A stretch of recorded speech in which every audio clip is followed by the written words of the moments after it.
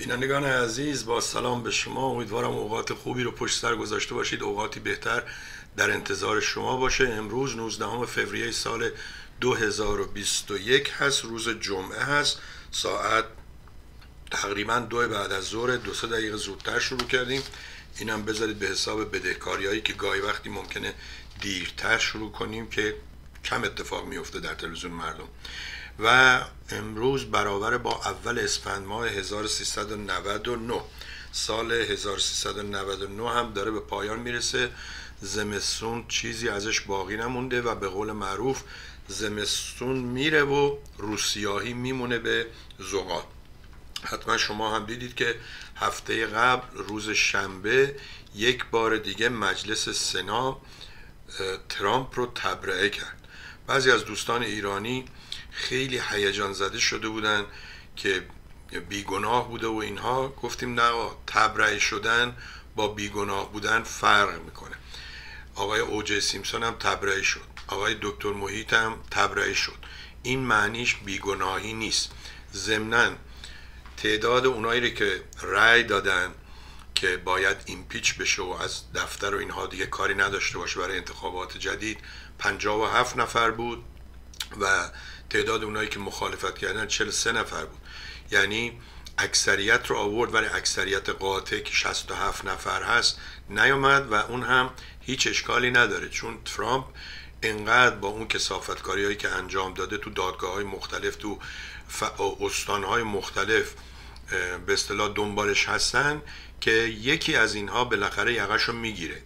بهترین داستانی که شما می‌تونید مقایسه کنید با ماجرای ترامپ داستان الکاپون هست که بعضی الکاپونه هم میگن. اون ماجرای کسی که سالهای 1930 و اینها وقتی که مشروب به اصطلاح آزاد نبوده در آمریکا و اون گنگسترا و کشت و کشتارا و اینها بود همه کلکی زد و همه پولا رو برد. آخر به یک اشتباه گرفتنش رو زندان و اینها و داستانش رو برید ببینید. در این ترامپ رفت و امیدواریم همیشه از صحنه تاریخ بره کنار و اینها. و یکی از یاران قارش که این راش لیمبای دروغگو بود اونم توی سن هفتاد سالگی دو سه روز پیش فوت شد. کسی که وقتی هم بهش گفته بودن سرطان ریه داری میومد می‌گفت که این دکترها چیزی نمی‌فهمن و سیگار می‌کشید. خب اگه چیزی نمی‌فهمن چرا میری؟ و همون که بهتر رفت. این راشلیمبا اون به اصطلاح تندروا اینو سلطان رادیو می‌گفتن. ولی یه نوشته ای الفرانکلن نوشته خیلی جالبه نوشته که راشلیمبا کسی بود که تخم دروغ و تندرویی و نجات پرستی رو تو رادیو تلویزیون ها کاشت و حاصلش یا ثمره این تخم شد ترامپ. و خیلی جالبه اگر وقت کردیم بخونید. ولی مهم اینه که اون رفت اونم رفت بالاخره وایت هاوس به یه حالت معمولی برگشته. البته هیچ وقت به حالت معمولی بر نمیگرده چون چهار سال این خرابکاری هایی که ترامپ و همدستاش کردن دزدی ها و قراردادهایی که بستن ممکنه حتی 50 60 سال طول بکشه تا برگرده. ولی اینا رو بذاریم کنار. ما چون معمولا تو برنامه همون میایم بیشتر از مسائل روز. اینجا میگن current affair یعنی جریاناتی که تازه اتفاق افتاده. متاسفانه در ایران باز یک زلزله اومده. این سی سخت من توی شیراز همیشه اسمش رو میشنم ولی هیچ وقت فرصتی نشد برم ببینم کجا هست و اینها. در صورت یه زلزله اومده نسبتا شدید. بدبختی ایرانیه که مثلا ما افتخار می‌کنیم که هنوز مردم توی کوه مثل توی قار زندگی می‌کنن. در صورتی که خب اونو بذارید برای موزه و دید و چی میگن؟ آثار تاریخی مردم رو بیارید خونه های جدید خونه های محکم. اینجا توی سان فرانسیسکو اینها بعد زلزله هایی که اومده الان آپارتمان هایی می‌سازن که روی روی بالبرینگ هست. یا روی به اصطلاح توپای فلزیه که میچرخه تکون که می‌خوره خب همه میترسن یه چند تا چی هم میرزه پایین میشکنه. ولی صدمه و ضررهای جانی و مالی آنچنانی نمی‌زنه. خلاصه مردم توی این سرما از اون ورم سالها دیدیم که دولت ایران حکومت ایران اونا هم مثل ترامپ همیشه تقصیر رو گردن دیگران میندازن و خودشون از زیر بار مسئولیت می‌کشن کنار و الی آخر. ناگفته نماند. در همین آمریکا الانی که من با شما صحبت می‌کنم این خیابون ما انقدر یخ زده که هیچ که بیرون نمیره بیرون نمیاد تو به اصطلاح بیرون نمیره.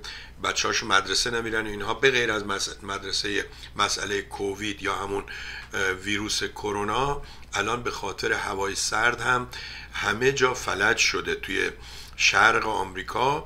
و یه چیز خیلی عجیبی که اتفاق افتاده که توی 500 سال گذشته یا حتی توی 100 سال گذشته هم نظیر بوده توی تگزاس برف و یخبندونی شده که نگو و نپرس و فکر کنید چی؟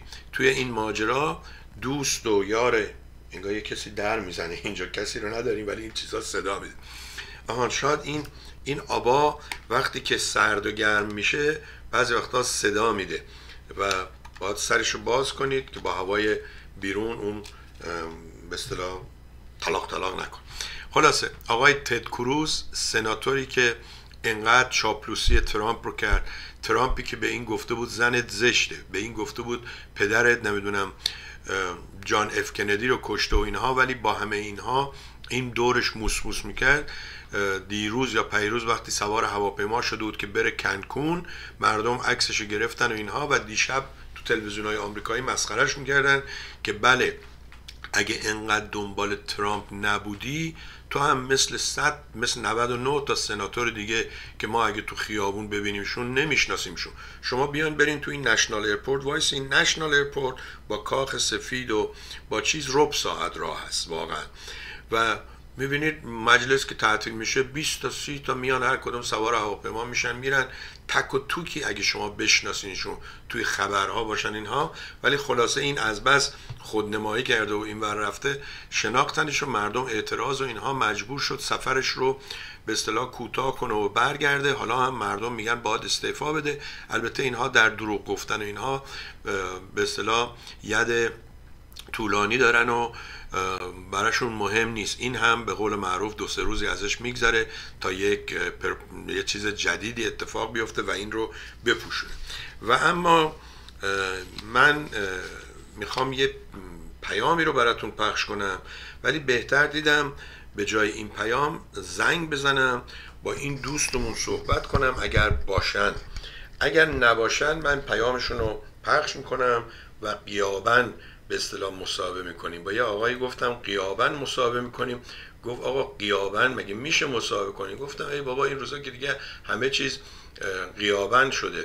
و ببینیم این دوستمون برای همه پیام گذاشته یا فقط برای من تنها؟ درود بر شما جناب سردی. محسوس کردار هستم از کانادا. یک سوالی داشتم از حضورتون. اگه ممکنید تو برنامهتونم جواب بدید من جوابمو می‌گیرم. و اون اینکه اگه یه برنامه ای که از ایران پخش شده من بخوام که رو تلویزیون شما اینو پخش کنید و مبلغ پول زحمت تلویزیون شما هم بدم آیا امکان پذیر هست که این برنامه چون از ایران پخش شده من بدم شما اونجا پخش کنید یا نه؟ این اگه جوابش رو ایرم بفرمایید ممنون میشم. روز بر شما خوش باشه موفق و معید و پیروز باشید. ممنونم و بله حتما میشه. چرا که نه؟ این روزا که مخصوصا ایران که اصلا کاپی رایت حالیش نیست و خودش کاپی رایت تمام دنیا رو میدزده و از طرفی چون این برنامه ها برنامه های دولتیه با پول من و شما می‌سازن اگه مال تلویزیون جمهوری اسلامی باشه. اگه مال دیگران هم باشه که به قول دوستان حالا ما پخش می‌کنیم. اگه کسی آمد گفت میگیم که خب تازه تبلیغ میشه براتون. بله لینکش رو به من بگید یا اسمش رو بگید چه برنامه بوده از کدوم کانال دیدید. اگر موجود باشه توی بایگانی های یوتیوب و بایگانی های وبسایت خودشون حتما پخش می‌کنم. و امیدوارم یه روزی هم فرصت بشه با شما صحبتی داشته باشیم. بریم سراغ این دوستمون و یه زنگی بزنیم. امیدوارم که نه این با آقای کردار داره زنگ می‌زنه. بله ببخشید. قرار شد که با این زنگ بزنیم. تلفن هم یه جورایی بله. 972 فکر کنم لاس وگاس باشه. حالا امیدوارم باشن این دوستمون. یه صحبتی داشته باشیم. و اگه نبودن اون وقت من پیامشون رو پخش می‌کنم. چرا تلفن ایشون اینجوری شد؟ صداش میاد آقای زمانیان صدای زنگ و اینا رو میشنوی یه بله یسی برای ما بنویس اینجا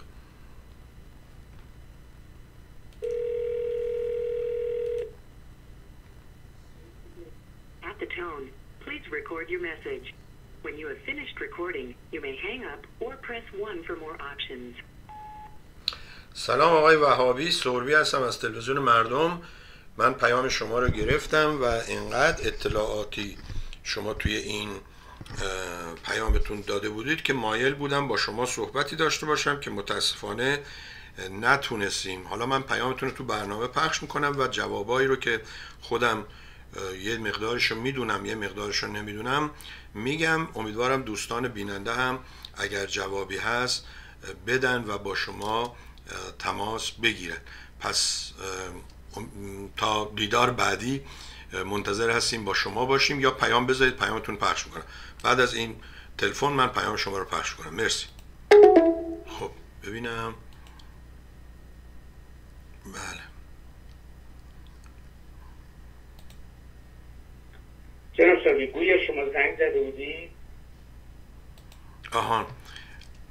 اشتباهی گرفتم ولی خب حالا دیگه اگر فرصتی بشه شما هم صحبت کنید بعد نیست و ببینم این تلفن Google Voice تمام صفحه کامپیوترتو میپوشونه ولی مثل یه تلفن چهار تا شم... ده تا شماره نمی‌ذاره زیرش هم به اصطلاح دو تا دکمه بذاره با این زنگ بزن. هی باید بری این ور بیای اون ور. امروز با یک خانمی که به احتمال زیاد هندی هم بود یا اصلش هندی بود یعنی پدر مادرش هندی بودن ایشون هندی نسب هست. صحبت می‌کردم دیدم که این جوون ها واقعا واقعا مثل کامپیوتر شدن. اصلا مغزشون اونجوری که باید کار نمی‌کنه. درستی که جوابای صحیح به شما میدن ولی فقط یاد گرفتن دو دوتا چهار تا. اگر به جای دو دوتا بذاری یک و سه نمی‌فهمه چهار تاست. بذارید یه زنگ بزنیم به این دوستمون رو اگه مایل باشن با هم صحبتی داشته باشیم. من اینجا اینجا خیلی بده. این نمی‌دونم چرا اینجوری گذاشتن اینو. خب بگیم کار. شش تا هفت جا این گوشی تلفن رو گذاشته و شما نمی‌دونی حالا کدومش کار می‌کنه. زنگم بزنی به کی زنگ می‌زنی؟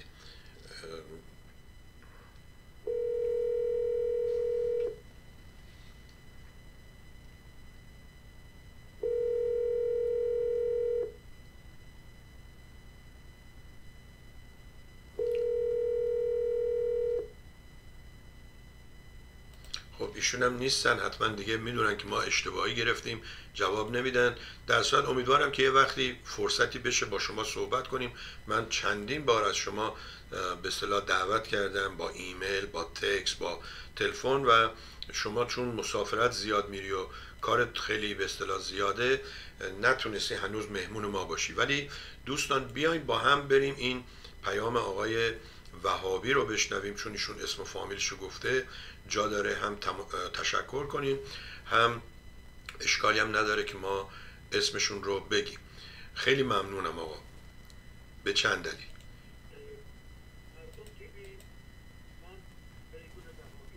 اجازه بدیم من صدای اینو یکم زیادتر کنم دوستان. بله. با هم بشنویم آقای فریدون وهابی رو.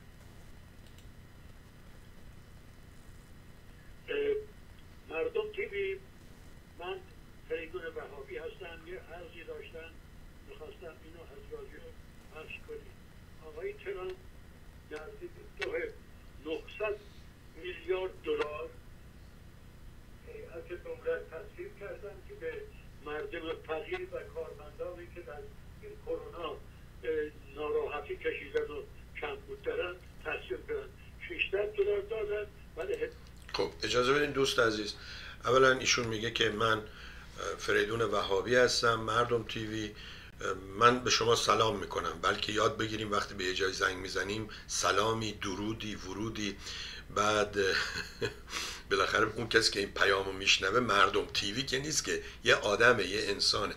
من ممنونم از شما. همین که شما بیننده هستید یا شنونده چون میگید رادیو احتمالا شنونده هستید. ولی شما میگید دو میلیون و نهصد. بعد میگید آقای ترامپ تصویب کرده مجلس. بعد میگید که 600 دلارشو دادن. من مایل بودم با شما صحبت کنم. ببینم شما این رقم ها رو از کجا گرفتی. من فکر می‌کنم شما از تلویزیون های ایرانی لس آنجلس که متاسفانه هیچ کدومشون هم به دلیل کبر سن هم به دلیل اینکه دیگه حالا هوایی نمونده از خونهشون بیرون نمیرن اصلا ببینن حتی شهرداری منطقهشون کجاست یا فرمانداری استانشون کجا هست و اینها. ولی از صبح یه مشت خبری میارن رو چیز اون وقت اینها هر جور دلشون خواست تفسیر می‌کنن. ببین دوست عزیز ترامپ آخرین مرتبه 23 دسامبر وقتی که این مجلسین با هم دعوا کردن اون می‌گفت دو هزار دلار اون می‌گفت سه هزار دلار اون می‌گفت 600 دلار اون می‌گفت 300 دلار اون می‌گفت 400 دلار اون می‌گفت باید به ارتش پول بدیم اون می‌گفت باید به مدرسه ها پول بدیم. بالاخره به توافق رسیدن و اون لایحه رو شما درست میگی. لایحه رو فرستادن دفتر این شالاتان یک هفته نشست و امضا نکرد. یه روز بعد از اینکه اون به اصطلاح باطل شد اون کمک های مردمی امضا کرد که تا همین امروزی که من به شما دارم حرف می‌زنم ده هفته تمام کارای مردم رو عقب انداخت. کارای همون مردمی که شما میگید گرسنه ها اونایی که کار می‌کردن به خاطر کووید کار نمی‌کنن. اونایی که کار می‌کردن بیمه داشتن به خاطر اینکه الان کار نمی‌کنن بیمهشون هم از دست دادن و به خاطر ترامپ شارلاتان بیمه ای رو که احمقانه به نام اوباما نوشته شده بود ولی در حقیقت بیمه اجتماعی بود اون رو از دست دادن ولی حالا جای شکرش باقیه که هم بایدن می‌خواد دوباره اون رو بیاره هم حتی امروز فرماندار نه ولی سناتور ویرجینیا نوشته بود که قانون ویرجینیا به ما اجازه میده اونایی رو که بیمه هاشون رو از دست دادن بیمه ها رو بیارن. ولی این هنوز جایگزین حقوق هفته 700 دلار هزار دلار دو هزار دلار نیست. شما فکر کنید اگر چهل ساعت در هفته کار کنی کارگر ساده ساده باشی ده دلار. معمولا الان دیگه نداریم. 15 دلار کمتر نداریم. 20 دلار 15 دلار 25 دلار 35 دلار اینا. حالا شما بگو 15 دلار. 40 دلار در 40 ساعت ساعتی 15 دلار در هفته کار کنی 600 دلار شما در میاری. این پول رو الان مردم در نمیارن. اونی که 600 دلار در می آورده 4 تا 600 دلار 2400 دلار می اومده 1000 دلار 1200 دلار 1500 دلار 2000 دلار اجاره می‌داده خرج بچه ها روزانه برق آب گاز اینا بعد مجبور می شده دو سه تا کار دیگه بکنه. حالا همه این کارا افتاده. ولی من از شما آقای وهابی وجدانا سوال می‌کنم. شما قبل از کرونا کار می‌کردی؟ یا مثل پدر و مادر من شما هم از راه رسیدی رفتی Social Security و ماهیانه پول می‌گیری؟ بیمه ای هم که شما داری از بیمه داداشای من و من که اینجا کار کردیم بهتره ارزونتره. دکترها عاشق شما هستن چون هر جوری دلشون بخواد Medicare و Medicaid و نمی‌دونم Medi-Cal و فلان اینها رو میدوشن. شما وجدانن از روزی که کووید 19 آمد گرسنگی کشیدید مورگجتون عقب افتاد مورگج یعنی قصه خونه اجاره منزلتون عقب افتاد یا همتون خونه هاتون پی آف احتمال زیاد پولی داشتید زمان شاه اون موقع عقلتون می‌رسیده که ایران و شاه و اینها همه پولا رو خارج آوردن شما هم آوردی خارج و از اون پولا مج... به خونه بدون قسط خریدی مجبور نیستی قسط بدی. خوشحال میشم. شما زنگ بزنید بگی این ارقام و اعداد از کجا آوردید؟ دو میلیون و نهصد نمی‌دونم فلان که واحدش هم یادتون رفته. دو بیلیون تریلیون اینا رو یادتون رفته ولی بماند. خلاصه حرف شما اینه که دنبال اون 600 دلاری هستید. آقا اینو ترامپ نداد.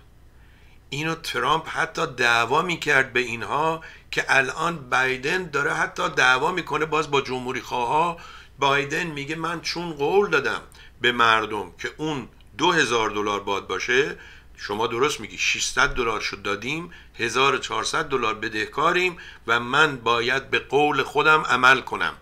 درست برعکس ترامپ که این همه قول دروغ داد بایدن میگه من به قول خودم باید عمل کنم و این 1400 دلار رو به مردم بدم. ولی من با چند تا از دوستا که صحبت کردم حتی تو خانواده گفتم اینا یه اشتباه بزرگ انجام دادن. نباید این پول رو به همه می‌دادن. باید به یکی می‌دادن که کارش از دست داده. باید به کارگرای رستوران می‌دادن. اون کارگرای رستورانی که بیچاره انعام می‌گرفتن نقد و سالها اینجا رسم بوده. اینها انعامشون رو گزارش نمی‌کردن. به همین دلیلم دولت بهشون حقوق آنچنانی نمی‌داده. ولی همون همون یه باری که آبی رو هم که می‌داد ترامپ شارلاتان دسامبر 23 اون رو باطل کرد. و تا دیروز حدود چقدر میشه از 23 بگو یه هفته بعد میشه ژانوری فبروری 13 هفته نه حدود 7 هفته مردم رو تو هوا معلق نگه داشت. الان من براتون یه نمونهش میارم. این سیستم های دولتی می‌دونید که مثل میگنشون مثل ماشین دیزله. وقتی می‌خواد کار کنه دیر را میفته ولی وقتی هم راه افتاد میره. حتی معروف بود اون وقتا می‌گفتن ماشین دیزل رو خاموش هم که می‌کنی شما هنوز بعد از اینکه خاموشش کردی یه کمی خودش داره دور می‌زنه. حالا من به شما نشون میدم که ببینید ویرجینیا مثلا چی نوشته برای اونهایی که VE. okay اجازه بدید VEC. ببینید چی نوشته. امیدوارم بتونم بذارمش توی یک نوشته مثل کاپی مثل ایمیل که روی صفحه به شما نشون بدم. بله یه چیزایی شد و بزرگش کنم اینجوری. Select all. اینجا این بزرگ. نگاه کنید دوستان.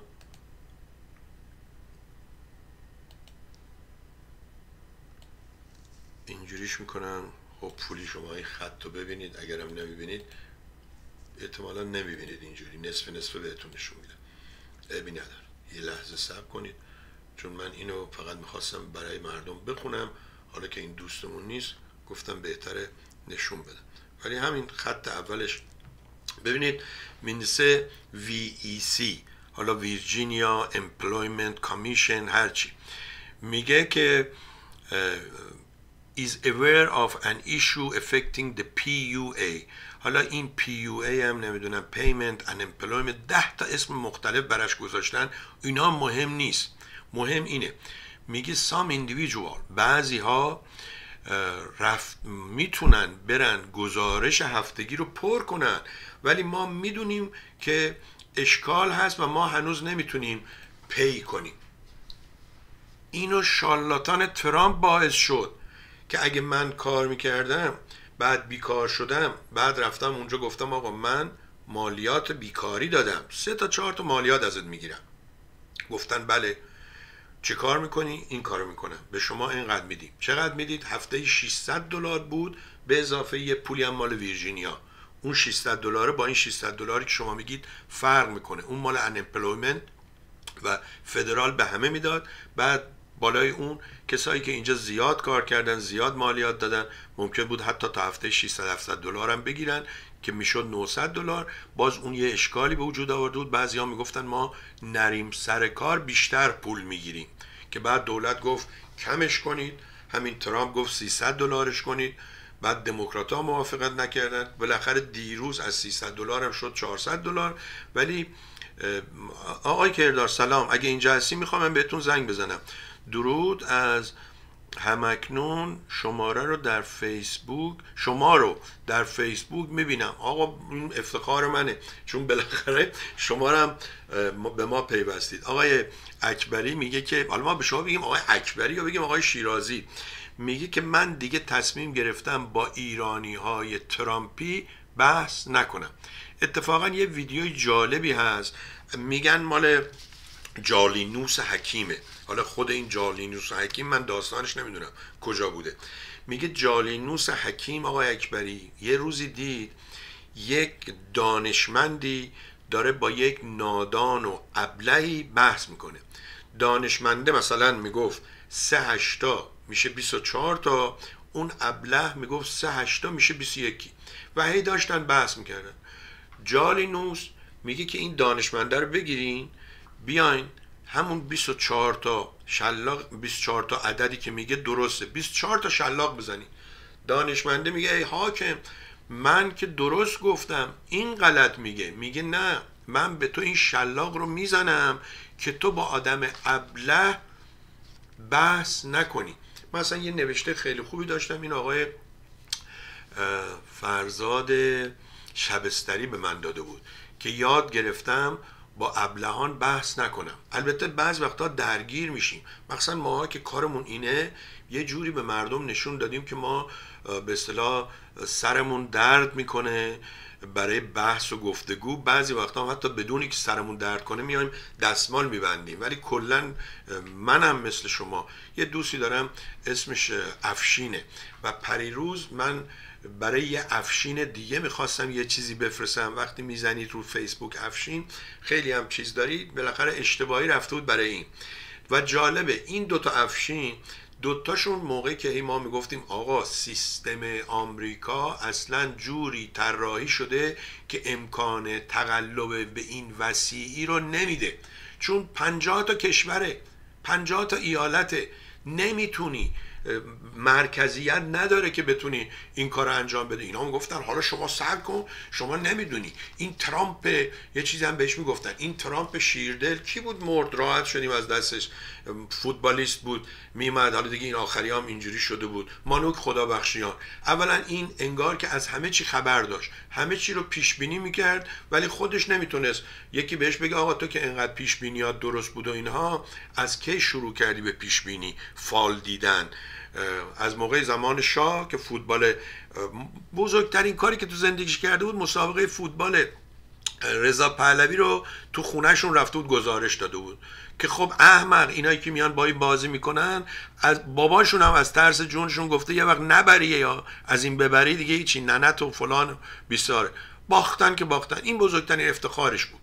اون وقت میمد برای ما تفسیر می‌کرد. آخری هم این علیرضا امیر قاسمی آورده بودش و خلاصه یه مشتی آدم مثل این که ترامپ رو خدا می‌دونستن ترامپ رو امام می‌دونستن ترامپ رو فرستاده ای وقت جالب بود. هیچ کدومشون از خودشون نمی‌پرسید آقا این امامه که نه معصومه این هم هم گناهکاره اینا بالاخره رفتن. بله خوب کاری می‌کنید که شما با اینا بحث نمی‌کنید ولی اشتباه نکنید.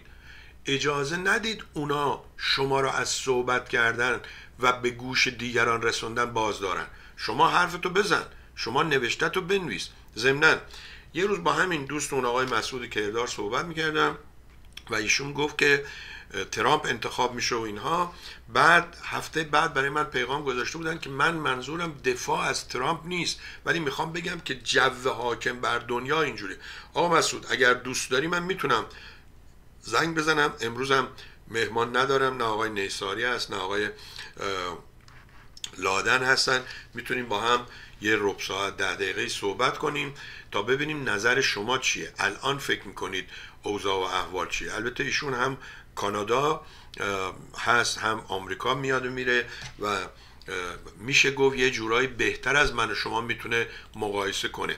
می‌تونه آمریکا رو مقایسه کنه با دنیا می‌تونه آمریکا رو با همسایه‌مون مقایسه کنه. الان بعد از ششم ژانویه این اتفاقی افتاد گفتن آقا بالاخره ترامپ اگه نتونست دیوار پایین رو بسازه بین آمریکا و مکزیک دیوار بالا رو ساخت. چون بعد از این وحشی بازی که طرفداراش در آوردن منتظرم یه روز آقای محبی رو بیارم. ببین آقای محبی اگه شما حالت بود چون نوشته بود تب کرده اون روز نرفته. اگه حالت خوب بود شما می‌رفتی اونجا آیا شما هم وسوسه می‌شدی که به گفته ترامپ بری اونجا؟ وسوسه می‌شدی که به گفته اونایی که اونجا بودن این کارا رو انجام بدی؟ کپسول آتش نشانی برداری بزنی تو سر پلیس بمیره و اینها؟ یا شما عاقلتر از اونها بودید. اجازه بدید دوستان برگردیم بریم سراغ دوستمون آقای کردار. و آقای کردار حسن فیسبوک اینه که من از طریق فیسبوک هم می‌تونم با شما صحبت کنم. ولی الان راحت ترم که با این Google Voice با شما تماس بگیرم. همین شماره 202 بزنین الان هست. زیر این بیا برش گردونم اینجا. چهار. بله 202 695 25 73 شما دوستان می‌تونید text بفرستید می‌تونید پیام بذارید. مثل همین آقای وهابی که من واقعا مایلم ببینم ایشون این اعداد رو از کجا گرفته. و اما آقای مسعود خان کردار و اگه ایشون یه روزی دوست داشته باشه برای من و شما بگه که کی بوده طرز فکرش چی بوده چه کسایی رو کمک کرده از اونا چه چیزایی دیده و امروز به این نتیجه رسیده که آقا اینا خیلی هاشون به نرخ روز نونو می‌خورن. مثل این هنرپیشه ایرانی که اومده آمریکا واکسن زده شهاب حسینی. یه برنامه لوسی هم داره تو ایران همرفیق. اولا کلمه همرفیق یعنی چی؟ اینا هی می‌خوان یه چیز جدید بیارن. حالا اون مهران مدیری و اکبر عبدی و اینا هی نمایش نمایش. حالا دیگه دکوناشون بسته شده از لحاظ فیلم های مفتزل ساختن و سریال ساختن برای آخوندا. رفتن سراغ هر کدومشون یه میزی گذاشتن شو و مردم بدبخت رو می‌کشن میارن اونجا.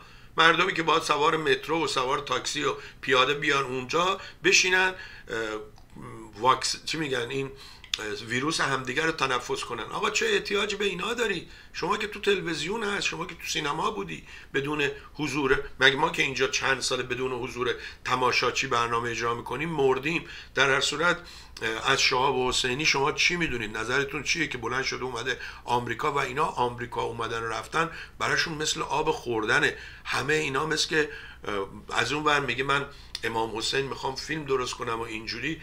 پروین رو دیدید؟ این علی پروین فوتبالیسته پسرش رو دیدید چه گوهیه چه گندی زده. خود پروین رو دیدید چه جوری علی علی می‌کنه و حسین حسین می‌کنه؟ اون وقت ببینید اینا چه کسافت هایی اون وقت وقتیه که از اینا سقط میشه ببینید مردم خل ما چجوری برای اینا سینه می‌زنن چجوری به خاطر اینا جمع میشن دور همدیگه باز واکسن به همدیگه رد و بدل می‌کنن. بریم بشنویم ببینیم آقای کردار نظرش راجع به این جریانات اخیر و اینها چیه؟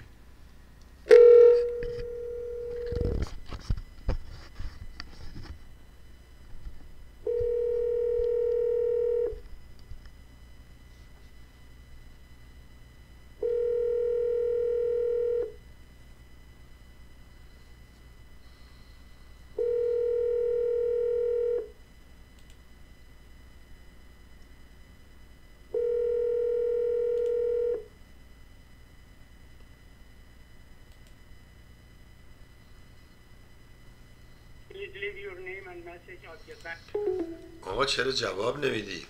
می‌خوای با فیسبوک با شما تماس بگیرم. اجازه بدیم ببینم با فیسبوک میشه؟ از این بری. سلام آقای سربی. امثال شهاب حسینی و علی پروین.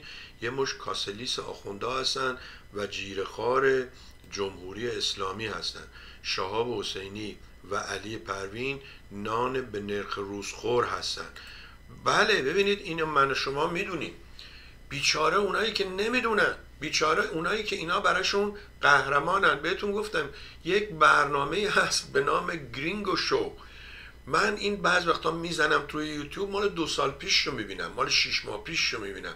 و الان گویا با رادیو جوان این آقا همکاری می‌کنه. اولا کسی این مجری رو می‌شناسه چون ریش و پشم و اینا گذاشته شاید برای اینکه کسی نشناستش یه برنامه بود توی تلویزیون آپادانا به نام افسونگر. یک فکر کنم یه آقایی بود. میومد نقش خانم افسونگر رو بازی می‌کرد و هیچ کس نمی‌دونست این کیه. و به من همیشه گفتم این چه آدم زرنگیه. یعنی اگه تو فروشگاه ایرانی بغل دست شما وایساده باشه شما نمی‌دونید دیگه. بره رستوران ایرانی شما نمی‌دونید دیگه. در که ما یه رستورانی که میریم باید به طرف اطمینان داشته باشیم تو خوراکمون توف نندازه البته ایرانیا انقدر وجدان دارن که این کارو نکنن. ولی این ماجرای قهرمان سازی و بودسازی و اینکه اینا حالا که چسبیدن به این میکروفون رادیو تلویزیون جمهوری اسلامی ازش سو استفاده می‌کنن تا سوار بر گرده مردم باشن. و چه داستانهای افتضاحی بین این هنرپیشه ها هنرپیشه ها سو استفاده کردنشون از همدیگه کارگردان ها و نمی‌دونم تهیه کننده ها که فیلم سازی می‌کنن سو استفاده کردنشون از زنها دخترایی که میارن تو فیلم ها. اجازه بدید من آقای کردار اینجا ببینم. می‌تونم چرا؟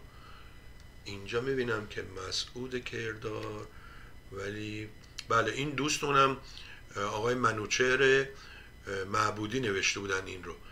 مسعود کردار. آقا مسعود چرا یه دونه اس گذاشتی؟ مسعود کردار. ببینم می‌تونم با بله چه عکسی هم گذاشتی یا؟ ماشاءالله. بله. ببینیم که تو قسمت پیام می‌تونم با ایشون تلفنی زنگ بزنم یا حتی ویدیویی؟ حالا تلفنی تلاش می‌کنیم ببینیم به جایی می‌رسه.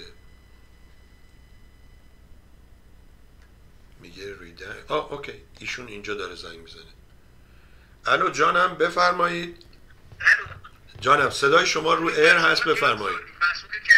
بله خیلی ممنون. من شما رو تو آسمون ها شما رو تو آسمون ها دنبالتون میگشتم روی زمین پیدا کردم. خودتون به مردم بگین من چند بار از شما تقاضا کردم که مهمون برنامه ها باشید. شما یا همیشه در سفر بودید.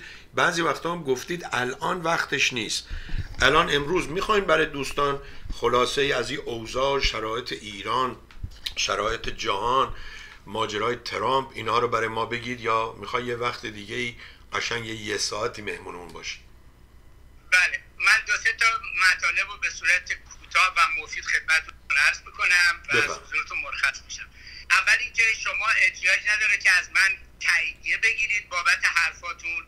شما انسان راستگویی هستید احتیاجی به دروغ ندارید چاپلوسی ندارید. برای همین هم من شما رو دنبال می‌کنم و به عبارتی از سالیان پیش به شما علاقمند شدم. به خاطر درستی و صداقتتون. احتیاج نداره من تایید بکنم حرف شما رو. شما تایید شده هستید.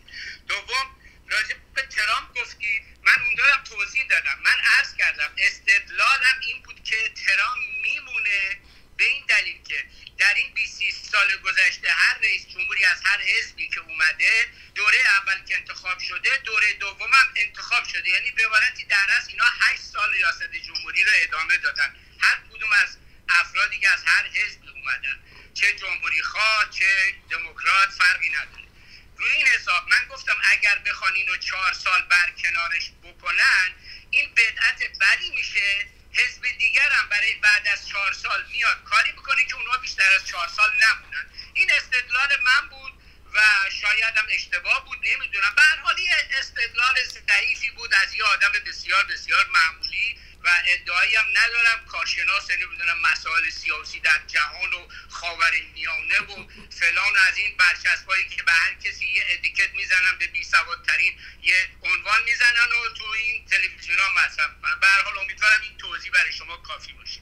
و علت این که امروز به شما زنگ زدم این بود من یه برنامه بسیار جالبی رو از تلویزیون ایران دیدم که یک آقایی که ادوایزر ایرانه و من بسیار بسیار اعتقاد دارم که حرفای این آقا در آینده دور بسیار منافع مردم ایران رو در داخل ایران حفظ می‌کنه. چرا به این عقیده رسیدم؟ همونطور که استعزار دارید شما و شاید هم شنوندگانتون که به حال یه جوری با من آشنا هستن من سی چل سال عمرم رو در خارج برای به اصطلاح خودم دفاع از هموطنان و کشورم گذاشتم. ولی در نهایت متوجه شدم که تمام افرادی که در خارج هستن اصلا به جای رسیدم بدون رو درباسی حتی دو نفر آدم صالح ندیدم که واقعا دلسوز ایران منافع ایران براشون مهم باشه نه منافع خودشون و نه اینکه اغلب همشون وابسته به یه جایی بودن. سرشون به یه جاهایی وصل بوده. از اون بهترینش تا اون بدترینش. اینه که بنده در این سی چل سال که وقتمو گذاشتم الان 6 سالیه که کاملا اینو متوجه شدم. به عبارتی کمی آگاه شدم. قبلا ناآگاه بودم. به علم بهتری رسیدم.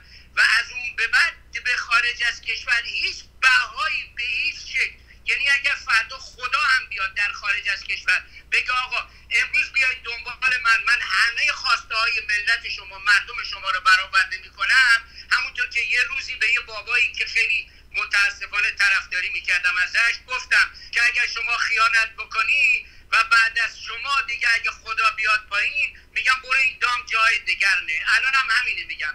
اگر در خارج از کشور خدا بیاد پایین بگه آقا من یکی با بقیه فرق دارم به او همینو خواهم گفت. برو این دام جای دیگر نه. اما تو این 6 سال سعی کردم در داخل ایران مسائل رو دنبال کنم. چون به این نتیجه رسیدم. اگر قرار باشه اتفاقی یه روزی حالا ممکن این امید امید قوی هم نباشه و عمر بنده و شما آقای سلبی قد نده. اشکالی نداره. تاریخ خیلی بلندتر از این حرف که ما بخوایم که امروز و ده سال و 20 سال یه مملکتی به رفاه و آسایش و به بهزیستی برسه. اشکالی نداره. بذارید یه نسل هم میره ولی شاید نسل بعدی بهتر باشه همین ما را بس. چون ما به فکر منافع وجودی زمان حال خودمون هرگز نبودیم. پس بنابراین حالا که ما هدر رفتیم به هر حال عده اشتباهاتی کردن که پر واضحه ولی به هر حال من اینو متوجه شدم که در داخل کشور هستن کسانی که دارن بسیار بسیار خوب عمل می‌کنن و آینده ای رو برای ایران دارن زحمت می‌کشن ترسیم می‌کنن. نه ممکنه برای نسل فعلی جواب بده ولی نسل بعدی حتما دگرگونی های عجیبی به نفع مردم اون خاک ایران وطن ما فرهنگ ما خواهد بود. پیروی این طرز فکر یک برنامه ای رو دیدم. از حضورتون می‌خوام خواهش کنم. ببینم اولا شما این مجوز دارید یا به بنده اجازه می‌دید؟ بعدا بعد از این برنامه تلفنی با شما صحبت کنم. خواهش کنم که این برنامه رو که من دیدم شما تو تلویزیونتون بذارید. من فکر می‌کنم جواب همه رو و خیلی ها رو خواهد داد و هر کی جواب خودش از این سخنرانی این آقایی که ادوایزر ایرانه خواهند گرفت. حالا از شما می‌پرسم آیا تلویزیون شما این اجازه رو میده که این برنامه که در ایران پخش شده البته جز ممنوعا بوده شما پخشش می‌کنید یا نمی‌کنید؟ بله. بذارید بهتون بگم آقای کلا خیلی از این دوستان میان فیلم های ایرانی رو برمیدارن حتی تو سایت خودشون می‌ذارن و ازش پول می‌سازن و به مردم به دروغ میگن ما اجازه داریم. اینا دروغ میگن. این وبسایت هایی که فیلم های سینمایی ایران رو می‌ذارن از مردم پول می‌گیرن که با کیفیت فلان اینا دروغ میگن. پس چون شما اولا لط کردی و من گفتی من صداقت دارم و اینها صادقانه جواب شما اینه که نه ما هیچ اجازه ای از کسی نداریم. ولی اتفاقا چون فیلم مال ایرانیه و خود آخوندای ایران به اصطلاح فتوا دادن که اصلا کپی رایت و اینا چیز نیست و اینا و دلیل دیگهش چون اینا با پول من و شما دارن این فیلم ها رو می‌سازن. این همه تلویزیون و رادیو تو ایران هست. این همه بودجه گذافی براش گذاشتن. چون با پول من و شما هست فکر نمی کنم کسی بتونه یقه ما رو بگیره. بعدم اگه اومدن دنبالمون یه حسن دیگه که داره اینی که من چیزی ندارم که کسی بخواد منو ببره دادگاه و ازم بگیره. به همین دلیل نه فقط اونها. برنامه هایی هم که تو تلویزیون های ایرانی خارج هست. من به دوستان گفتم هر کی می‌خواد اتفاقا دو سه هفته پیش آقای خسرو برامی از نیویورک تماس گرفت. یه برنامه ای رو از آقای فرزاد از آقای دادرس فرامرز دادرس. بله. بله فرامرز دادرس که توی چیز گارد جاویدان بوده و اینها و من چون با آقای فرامرز دادرس قبلا چند بار مصاحبه کرده بودم و روی فیسبوک باشون در تماس هستم براشون نوشتم که یکی از دوستان حمایت کرده و ما اینو پخش می‌کنیم. ایشون تازه تشکرم کرد. بله ما پخش می‌کنم. شما فقط لطف کنید. اسم اون طرف رو بگید یا لینکشو برای من بفرستید. این این قسمت. حالا شما لطف کردی به من. صداقت من رو اینجا منشن کردی. بذارید من برای دوستان بگم که شما میشه گفت یکی از مخالفین سرسخت من تا حد دشمنی با من بودید. ولی به خاطر این خضوع طبعی که دارید که همین الان گفتید تو برنامهتون بعدا اگه گوش کنید خودتونم متوجه میشید که میگید اگه من یه اشتباهی می‌کنم میام جلو کاملا میگم اشتباه کردم. خود شما به من تماس گرفتید. گفتید آقا من با فلانی بودم اینجور بودم اونجور بودم ولی بعدا دیدم که آقا همه اینا دروغ میگن و اتفاقا تو همین کمی که می‌دونی همین راست میگی. ما هم تشکر کردیم. شما هم همیشه لطفتون از اون موقعی که با هم آشنا شدیم و صحبت کردیم به اصطلاح شامل من شامل تلویزیون مردم بوده و حتی من شنیدم با دوستانی هم که صحبت می‌کنید تو کالیفرنیا و این منور همیشه لطف کردید تعریف می‌کنید. از این بابت هم ممنونم. همین الانم هم که شما اینو گفتید آقای منوچهر معبودی هم نوشته که من هم به خاطر همین صداقت سوربی هست که بهش بسیار علاقمندم و سوربی منطقی است و با استدلال صحبت می‌کنه. حتی یه دوست دیگه از ایران نوشته بود که توی این تلویزیون های خارج همشون به فکر خودشونن. تو تنها کسی هستی. با وجودی که میگی من ایران نمیرم. با وجودی که میگی ایرانیا اینجور اونجور باز ایرانی هستی وطن پرست هستی و دلت برای ایران میسوزه و میتپه. در صورت من از شما ممنونم. امیدوارم یه روزی حالا که این فرصت فیسبوک درست شد و برقرار شد شما بیای با ویدیو از طریق همین فیسبوک برای مردم بشینید صحبت کنید یا اون فیلمایی که من قول دادی برام بفرستی تا مردم بدونن چه کسایی خالصانه, خالصانه رفتن خدمت کردن. از وقت خودشون از پول خودشون گذشتن و پولا و وقتشون و خدمتشون رو متاسفانه دادن به افرادی که اونا به فکر سوء استفاده بودن. حالا اون افراد رو امروز اسم نمی‌بریم ولی بعدا شما در گذشته زمان بیان یکی یکی اسم ببرید و بگید. راجع به ترامپ شما کاملا درست میگید. بعد از جورج بوش و بعد از جورج بوش پدر بعد از کارتر و بعد جورج بوش پدر که چهار سال بود دوره حکومتشون تمام اینایی که بودن هشت ساله بودن. و این دیگه یه نرم شده بود. برای که خود آمریکاییان به این نتیجه رسیدن که به خاطر مشکلات فراوانی که هست یه نفر که تو مجلس توی کاخ سفید هست بهتر همین بمونه. اگه جنگی رو شروع کرده کسافتاش رو تمیز کنه. اگه کاری رو شروع کرده حالا اعتبارش رو بگیره. ببینید آقای کردار ترامپ ترامپ حزب Republic رو باخت. دو دستی داد به دموکرات مجلس رو باخت سنا رو باخت کاخ سفید رو هم باخت. همین presidency هشت ساله هم باخت. با نادانیش با کارای یکی پس از دیگری غلطی که انجام داد و حالا رفته یه گوشه نشسته. همین الان که من با شما صحبت می‌کنم یه خبری دارم که یه نفر که دو میلیون و نیم پول داده به این که فکر کرده این درست میگه که میگه تقلب کردن تو انتخابات. الان اومده از طریق دادگاه می‌خواد این دو میلیون و نیم از این پس بگیره. حتما شما می‌دونید که ترامپ هفتاد میلیون توی اون هفتاد روز بعد از انتخابات با اون دروغایی که گفت از مردم بیچاره پول جمع کرد. یعنی اونا تو سر هم می‌زدن تو مهمونیات مردم دشمن هم می شدن دوستا و فامیل از هم قهر می‌کردن. ترامپ و خانوادهش پول جمع کردن. حالا دخترش می‌خواد بیاد سناتور بشه نمی‌دونم زن بچه عروسش می‌خواد بیاد سناتور بشه خودش اگه زنده بمونه می‌خواد بیاد رئیس جمهور بشه. ولی ضرر و زیانی که ترامپ به ریپابلیکن زد اصلا هنوز نمیشه اندازه گرفت. مثل یه ماشین تصادفیه که شما درستش می‌کنی راه میفته میری تازه می‌بینی اه اینجاش هم شکسته اینم خرابه شیشش هم اینجوریه یکی یکی حالا معلوم میشه. ولی من از شما ممنونم. اون رو منم با شما هم عقیده هستم. من تا اون لحظات آخرم فکر می‌کردم ترامپ برنده میشه. میشه گفت این کووید 19 آمد به کمک مردم تا از شر این راحت بشه چون واقعا بد منیجش کرد. ببخشید من زیاد صحبت کردم من ساکت میشم شما صحبت پیرو حرفای شما در خاتمه قبل از اینکه از حضورتون خداحافظی کنم می‌خواستم یه نظر کوتاه خودم من باز در رابطه با آمریکا عرض می‌کنم. امریکا برای کشور ما هرگز دوست خوبی نبوده آقای سروی ما در رابطه با دوستی با آمریکا بسیار بسیار بازنده بودیم در گذشته. الانم کشور ما در رابطه با آمریکا بازنده است اگه بخواد با آمریکا نزدیک بشه. من سراحتا ارز کنم من ملت آمریکا رو بسیار دوست دارم. قوانین خوبش رو بسیار دوست دارم. همونطور که می‌دونید بنده گرین کارت آمریکا رو دارم. ولی می‌خوام عرض بکنم سیاست آمریکا همیشه دچار اشتباه بوده. در سیاست بسیار بسیار ایرادای زیادی دارن.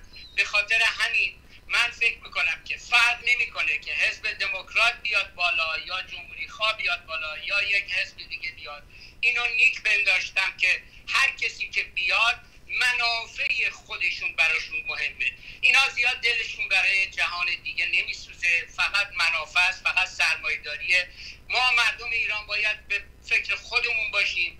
یک روزم که شده رو پای خودشون این مردم بیستن به خودشون متکی باشن. کما اینکه ما در این چهل سال فکر می‌کردیم داریم به این مسئله کمک می‌کنیم. ما کمک می‌خواستیم بکنیم مردم با آگاهی هایی که بهش می‌رسن بتونن این دستشون رو رو خودشون بگیرن و یه حالا یا علی که دیگه اصطلاحا قدیم می‌گفتن یه یا اهورا بگن یه یا ایران بگن خلاصه با زور دست و پای خودشون بلند شن و خب سخته.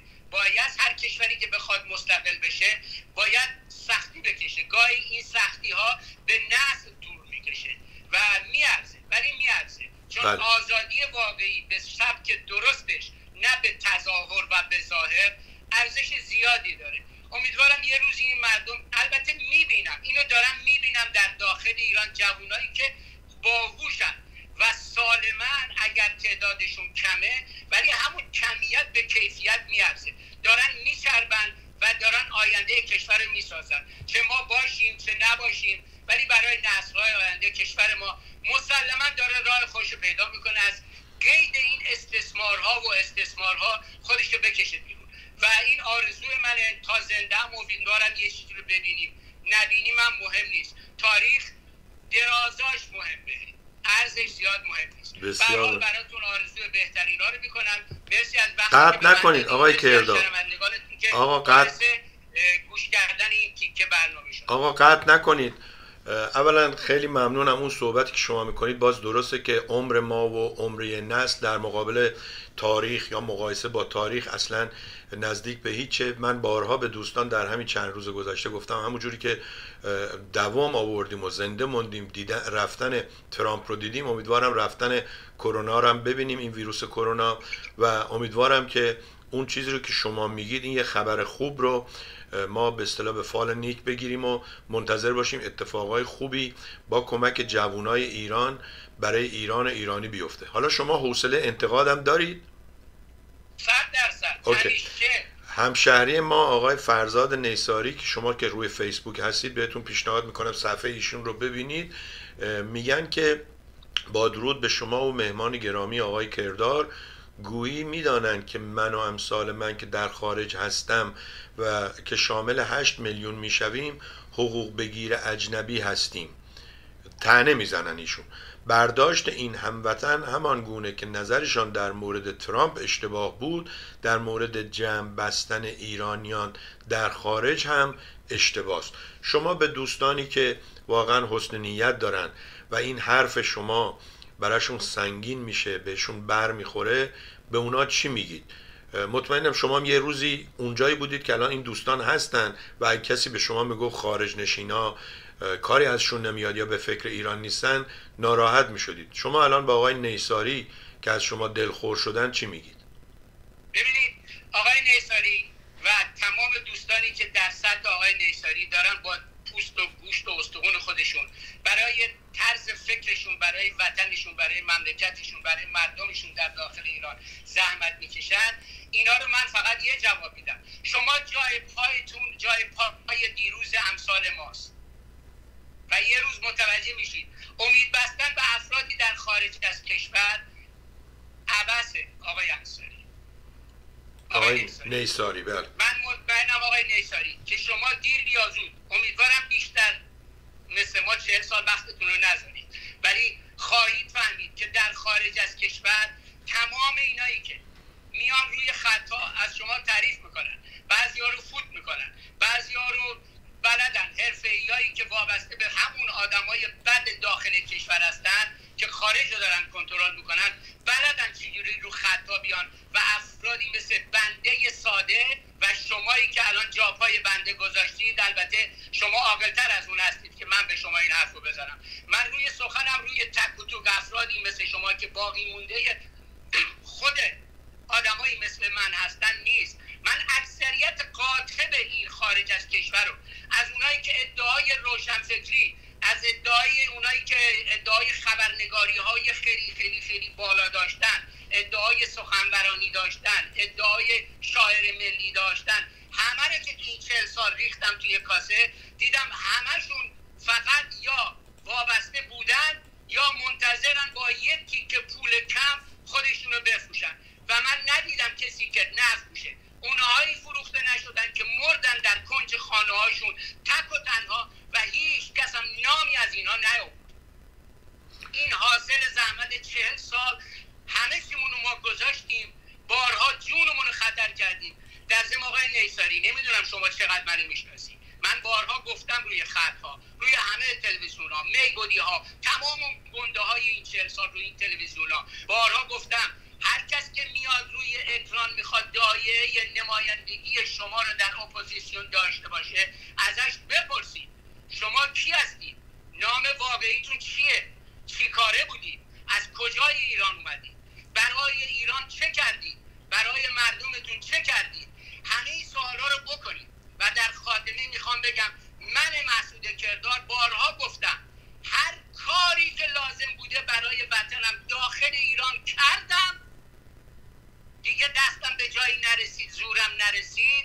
نخواستم مفت بازی کنم مثل یاران دیگرمون. کشته بشیم و هیچ و پوچ بدون اینکه کاری بکنیم. اومدیم بیرون گفتیم با این سلاح زبونمون با فکرمون اون چی که دستمون برمیاد برای آگاهی ملتمون کاری بس کوچیکم که هست بکنیم. من پاکم و هیچ خورده ای ندارم. وقتی میگم دیگه هیچ اعتقادی به این افراد خارج از کشور ندارم. چون همشونو برعکس شما آقای نیساری من جایی بزرگ شدم از بچگی میون افرادی بودم لحظه ای کنار شاه و کاخش بودم لحظه ای دیگر تو چهارراه مولوی معاون فقیرترین افراد جامعه بودم. همه مسائل رو دیدم. در وزارت نیرو نماینده چهار هزار تا کارگر بدبخت بودم. که وقتی از ایران اومدم بیرون تا سالیان سال برای من می نوشتن که شما رفتی ابوذر ما رفت. من ادعا ندارم.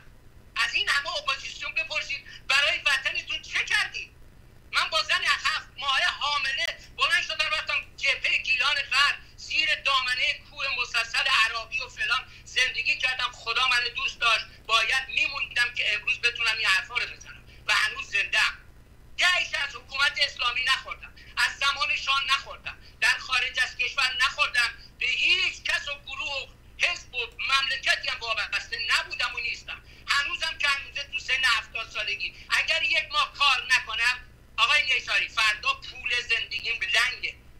قسط خونم رو نمی‌تونم بدم. با شرف افتخار می‌کنم که اینطوری زندگی کردم. هنوز سالمم. خانوادم سالمه. به درستی هر کس من می‌شناسه پشت مسعود کردم مگر دشمنان من که دشمنان اونایی هستن که هر کی حرف حق می‌زنه اونا باش دشمن میشن. اونا تعدادشون مشخصه من اونا رو کار ندارم. ولی هر کس در دنیا نام من می‌شناسه من با افتخار می‌تونم بگم. به درستی منو به درستی قبول دارن. امیدوارم شما بیراه نرید. اگر من بریدم از جامعه خارج از کشور به تعداد کمی مثل حضرت عالی منظورم نیست. من در قاعده کلی عرض کردم.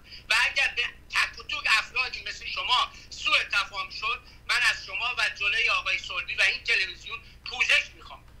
و شاید باید این تک رو جدا می‌کردم ولی خب نکردم. ببخشید از شما پوزش می‌خوام. امیدوارم موفق باشید. بیشتر از این وقت خودتون رو برای افراد خارج از کشور نذارید. بسیار ممنونم. آقای کردار امیدوارم شما رو در برنامه آینده بیشتر داشته باشیم. برای شما و خانواده روزای خوبی. آرزو می‌کنم. خیلی ممنون که با ما تماس گرفتید. سپاس از شما. بله. دوستان عزیز با آقای مسعود کردار بودیم که روی فیسبوک هم با همین اسم شما می‌تونید ببینید. همین الان هم اینجا نوشته بودن که بالاخره از طریق فیسبوک دارن ما رو تماشا می‌کنن.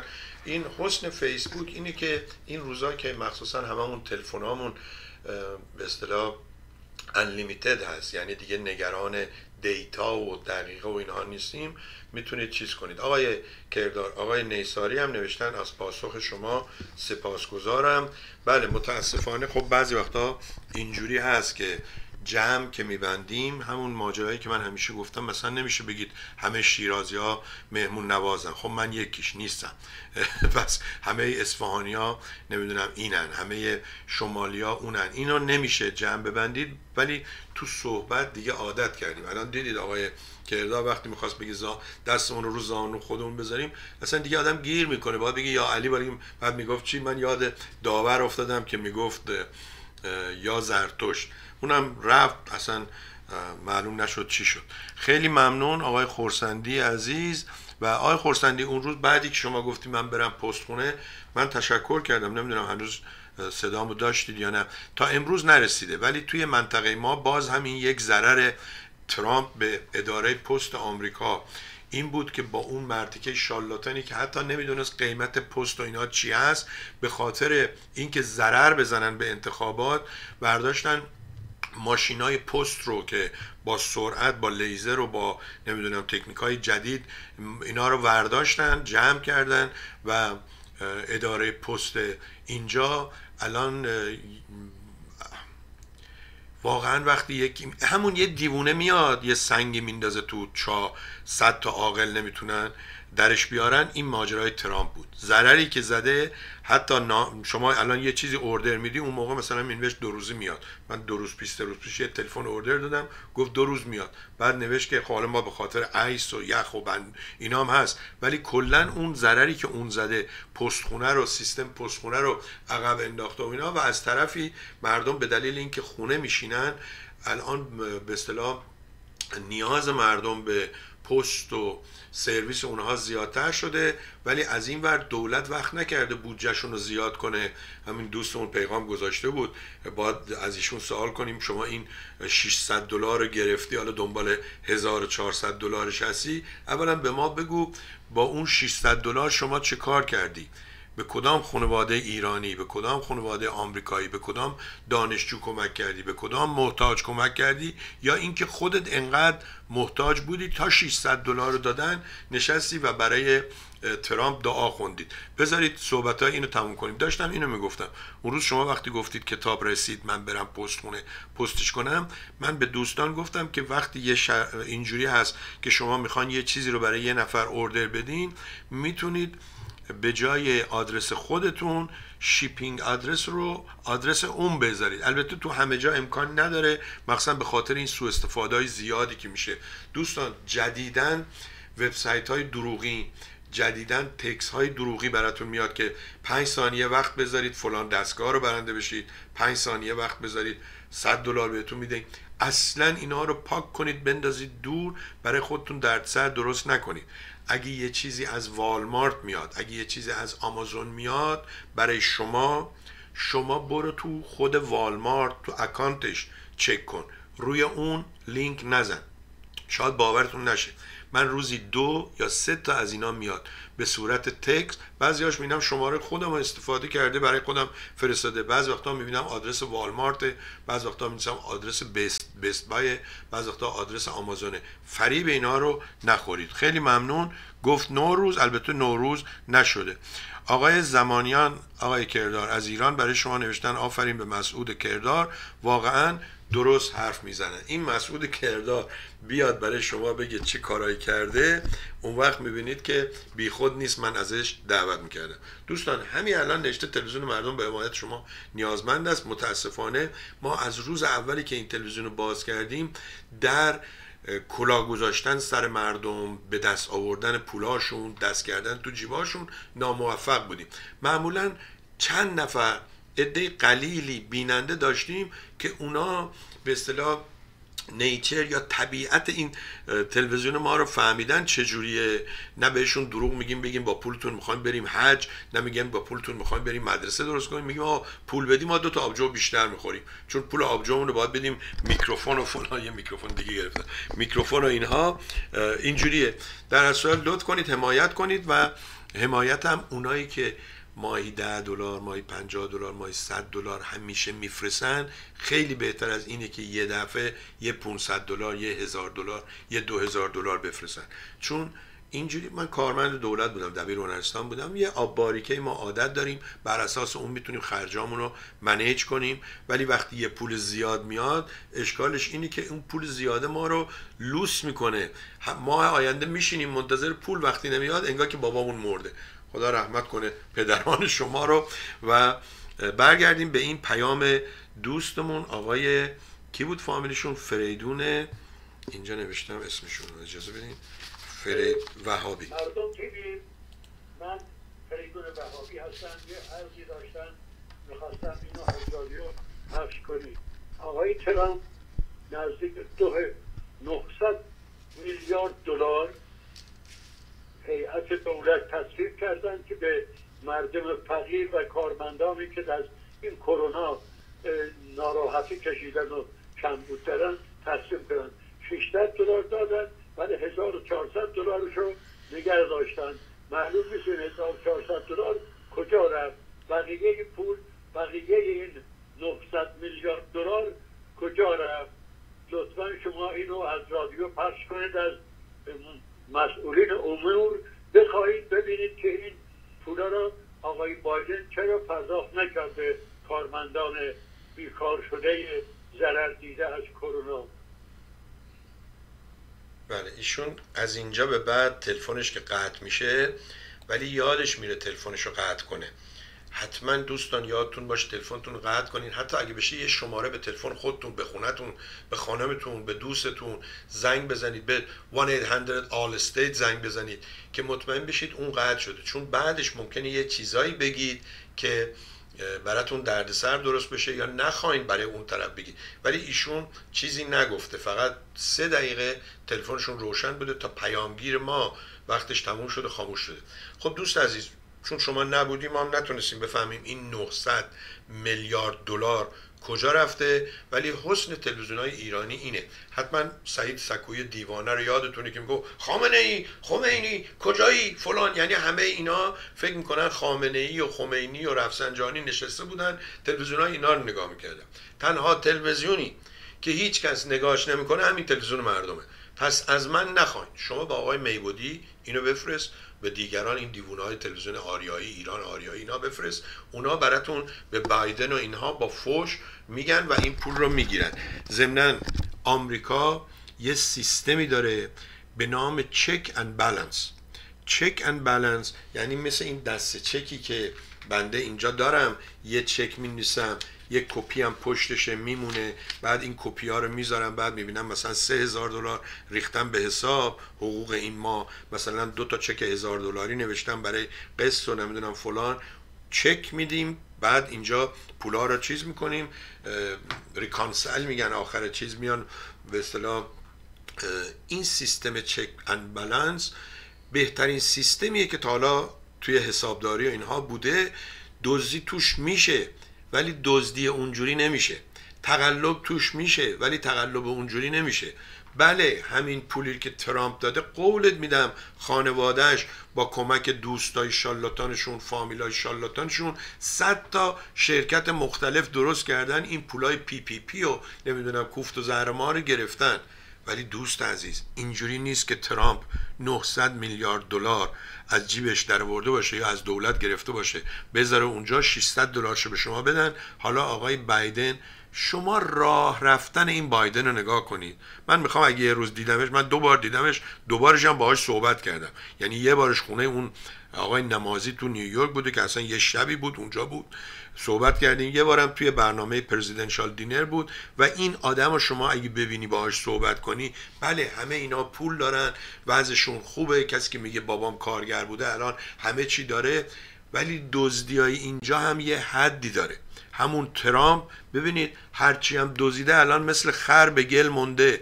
دو سه روز پیش برید بزنید یه ویدیوشو یه کسی لینکشو بذاره اینجا. demolish البته یه چیز دیگه نوشته بود exploding exploding یعنی یه building مال آتلانتیک سیتی که کازینو بوده و اینها اینو خراب کردن گفتن ما می‌خوایم اصلا اسم ترامپ دیگه اینجا نباشه. نبینیمش چون یادمون میاد به ضررهایی که به ما زده. شرکت هایی رو که از کار به اصطلاح بیکار کرده. شرکت هایی رو که باعث ورشکستگیشون شده. در هر صورت این پیام رو شنیدیم ما. پیام رو پخش کردیم. حتما حتما آقای بایدن این پول شما رو میاره میده. ولی اون چیزی که شما شنیدی دوست عزیز غلط بوده. اونا اگه تصویبم کردن میان یه بودجه ای رو تصویب می‌کنن. این بودجه حالا یا اگزیکیتیو اوردر یعنی فرمان اجرایی یا به صورت بودجه میاد میره از یک کمیسیون های مختلف از یک چیزهای مختلف میگذره کمیته های مختلف. بعد که تصویب شد بازم از مجلس میره سنا از سنا میره پهلو رئیس جمهور از اون دوباره برمیگرده امضا میشه. این پول که میاد اون وقت تقسیم میشه. اینقدرش مال آموزش پرورشه اینقدرش مال ایالت هاست اینقدرش مال ارتشه اینقدرش مال اینه. اینقدرش هم میدن به آقای وهابی که ایشون هم بیکار شده هم ضرر کرده. خیلی مایل بودم من ببینم. دوستان واقعا کدوم یک شما از شما رستورانتون بسته شد؟ کدوم یک از شما داشتید با اوبر کار می‌کردید؟ مثل این دوستمون آقای مجید زنگ بزنم ازش احوالش رو بپرسم.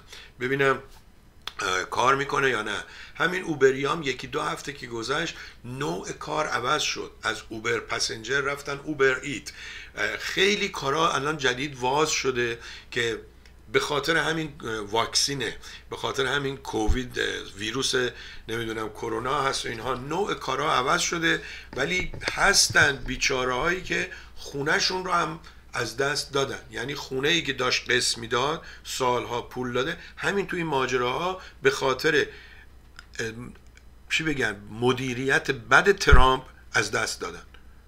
حالا اگر کسی هنوزم طرفدار ترامپه با وجودی که ما گفتیم با ابلهان نمی‌خوایم صحبت کنیم ولی بیان اقلا ببینیم تو مغزشون چی بوده. الحمدلله از روز اول هر کی هم طرفدار ترامپ بوده گفته من که طرفدار ترامپ نیستم. ولی سعید میگه هر وقت میگن ولی اون قبلیشو بریز تو سطل آشغال. و تا امروز کسی نیومده. چهار سال گفتیم رفت نشد. خب بریم ببینیم چی براتون گذاشتیم در قسمت پرونده های امروز و کره مریخ. خیلی ما ایران کره زمین رو آباد کردیم که حالا کره ما که گفت دیگه. خمینی هم اولین کسی نبود که گفتن عکسش تو کره ماه بوده. برید بخونید. یه کسای دیگه هم دروغ گفته بودن این ماجرا. بعد دیگه جوکا هم ساختن. گفتن بله اونایی که میگن سفینه آمریکا نرفته کره ما رفته. دلیلش هم اینه که رفتن اونجا خرابکاری کردن. بعد ایرانی ها اینو دیدن. این جوکا هم می‌سازن. حالا کره مریخ رو بگیریم. هفته قبل یادتونه چقدر همه خوشحال شده بودن. احساساتی که آقا رفتیم امارات رفت کره مریخ همین دیروز یا دیشب هم چیز رسید اونجا و نشست و عکس گرفت و فلان اینها من گفتم بابا جون خیلی اینجوری ها زود خوشحال نشین. کم صبر کنید جوجه رو آخر پاییز میشمارن اماراتی که فکر کنم بزرگترین کشورش یا معروفترین کشورش دبی دیگه نه شیخ محمد. اینقدر می‌گفتن این شیخ, شیخ محمد سیاست مداره نمی‌دونم اقتصاددان فکر 20 سال آینده بوده نمی‌دونم این ساخته اون ساخته. این مردک دختر خودش رو به زور دوا و تهدید و اینها توی قصر یا توی خونه خودش زندانی نگه داشته. البته ایرانیا گفته بودن خانم بلند شو بیا ایران اینجا آزاد فلان. یه نفر یه چیزایی نوشته بود خیلی جالب که بیای اینجا نمی‌دونم اینو داری اونو داری و مسخره بود. اینم ماجرای رفتن کره مریخ. امروز برای یکی از دوستانم که فوتو ژورنالیسته نوشتم که کره زمین رو گند زدیم. حالا موقعی که بریم کره مریخ رو هم خراب کنیم. کره مریخ تفاوتی که با کره ما داره اینه که میگن آثار زندگی توش دیدن. حالا ببینیم چی میشه. یادتونی آقای فیروز نادری چه شلوغی راه انداخته بودیم؟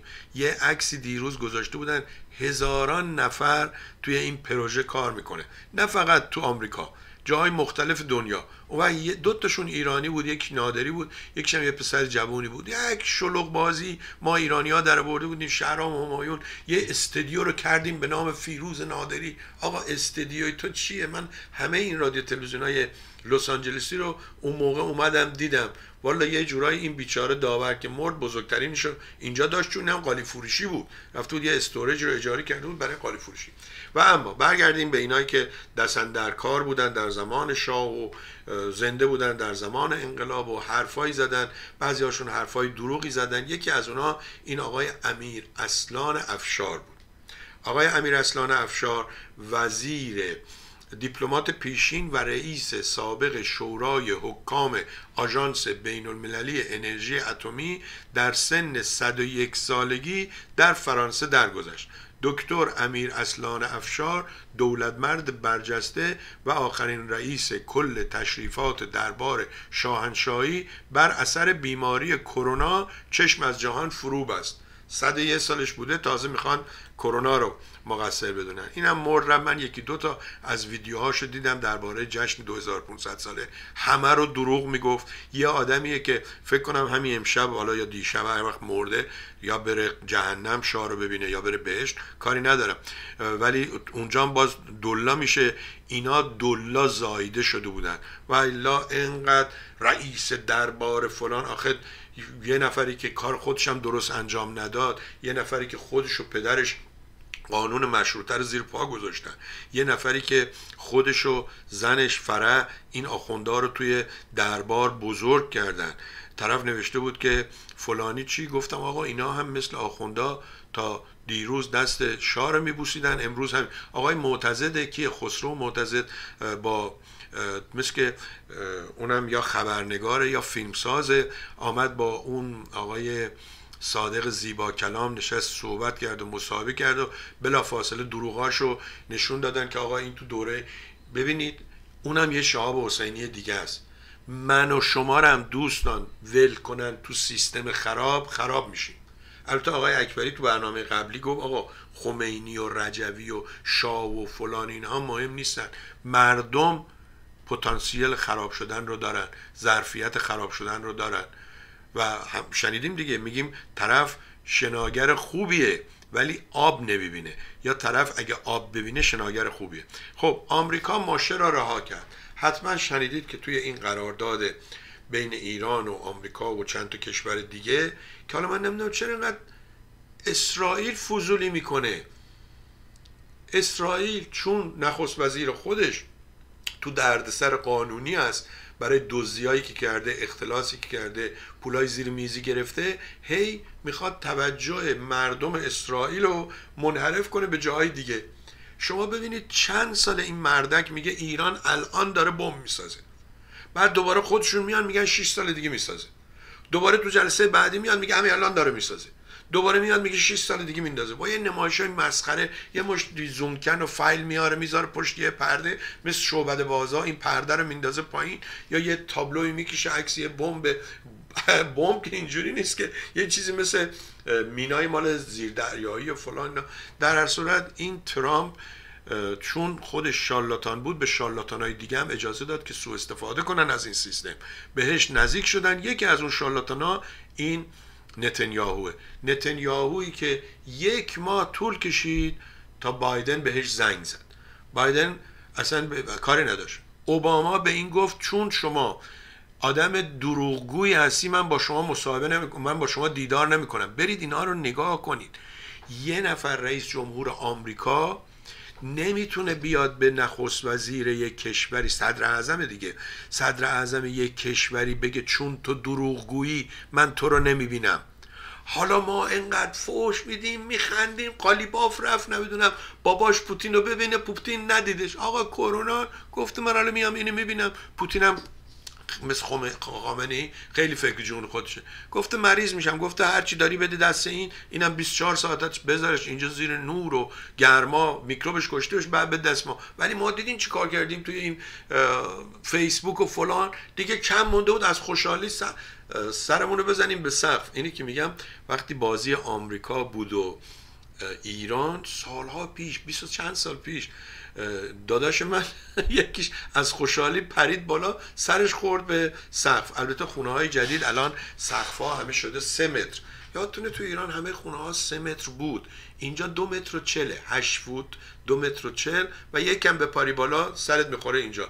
دست اینجوری کنی سرت به سقف می‌خوره. برای اینه که اینجا فکر گرما و سرما بودن برای اینکه فکر انرژی بودن. راجع به انرژی بهتون بگم که به خاطر تگزاس الان بنزین و اینا گرون میشه گرون شده آردی از دو بیست رفت رو دو هفتاد و دو هشتاد و اینها. منتظر باشید باز بیشتر گرون بشه تا برسه به بهار.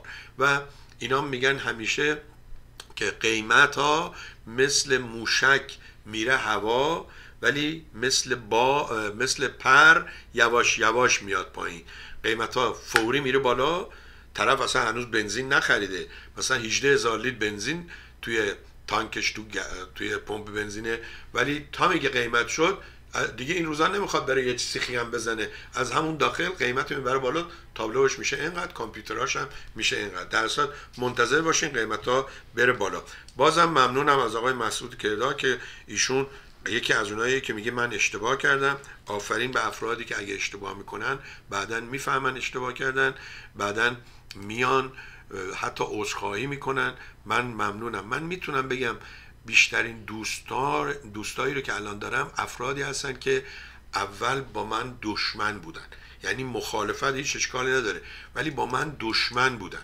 بعدا هی دیدن ای بابا اونی که دوستشونه دوست نیست. و منی که حقیقتا دشمن بودم و به این نتیجه رسیدن دشمن دانا به از نادان دوست دوست پولاشون رو برشته در رفته و این دشمن هنوز اینجاست. جالینوس حکیم رو گفتم که به دانشمنده گفت من تو رو شلاق می‌زنم که وایستادی با این ابله داری چیز می‌کنی. ماجرای امارات سفینه رفتن به مریخ و زندگی زندانی کردن دختر خودش رو گفتم. تجر... تبرئه شدن ترامپ به معنی بیگناه بودن او نیست. دادگاه ها دو نوعه. حالا اینکه دادگاه سیاسیه اصلا ولی دادگاه ها دو نوعه. یکیش دادگاه کریمینال و اینا هست که جرمای دولتی طرف شما دولته. و خیلی وقتا ممکنه من یه قتلی انجام داده باشم دادستان یا دولت نتونن منو متهم می‌کنن محکوم کنن از اون میام بیرون.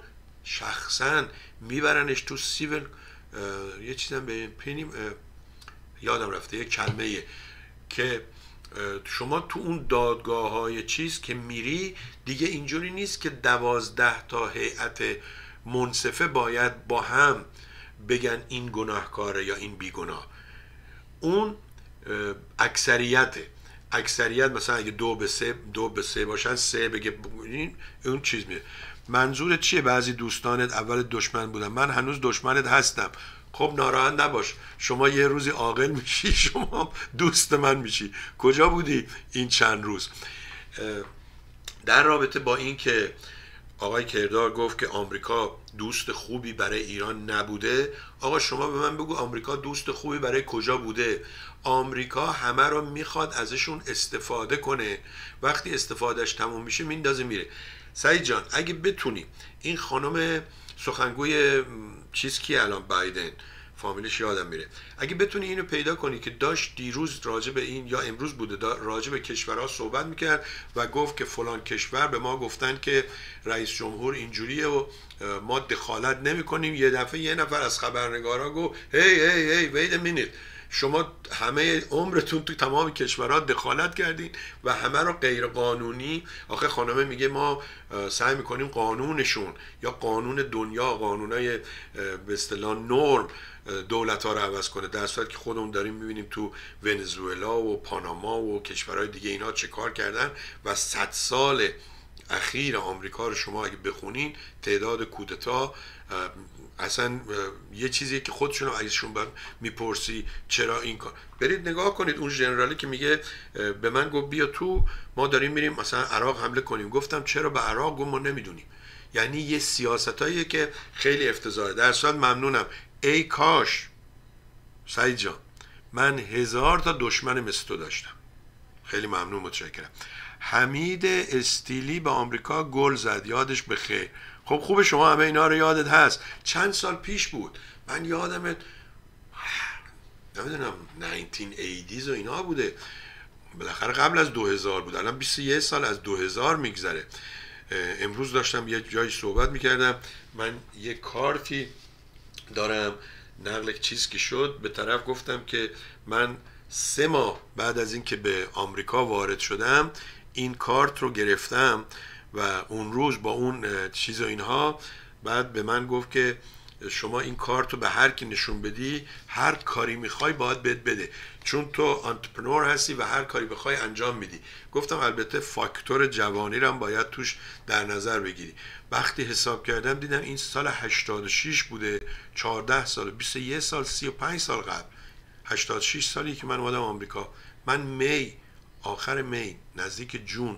آمدم آمریکا August اون license یا اون اجازه یا اون اجازه کاری رو که می‌خواستیم گرفته بودن و این خیلی عجیبه برای کسی که میاد قبلا تو اون رشته کار نکرده قبلا اون رشته رو نخونده. زبان انگلیسی همون دو کلمه ای هم که بلد بوده تو آلمان چون 22 ماه مونده و آلمانیا هرچی میگن می‌نویسن هرچی می‌خونن اونو میگن قاطی کرده بود ولی باز اینو گرفتیم. و اما آمریکا ماشه را رها کرد.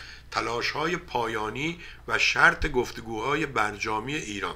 گفتم که ایران این بار پاشو گذاشته زمین. خامنه ای هم الان برگ برنده تو دستشه میگه من اون دفعه بهتون گفتم به اینا نمیشه اطمینان کنید. اینا تا کار نکنن عملی انجام ندن ما هیچ کاری انجام نمیدیم. خب یه جورایی هم از خودتون سوال کنید. ایران که نرفت بیرون از این قرار داد ترامپ احمق رفت. حالا اینا میگن آقا تو رفتی بیرون.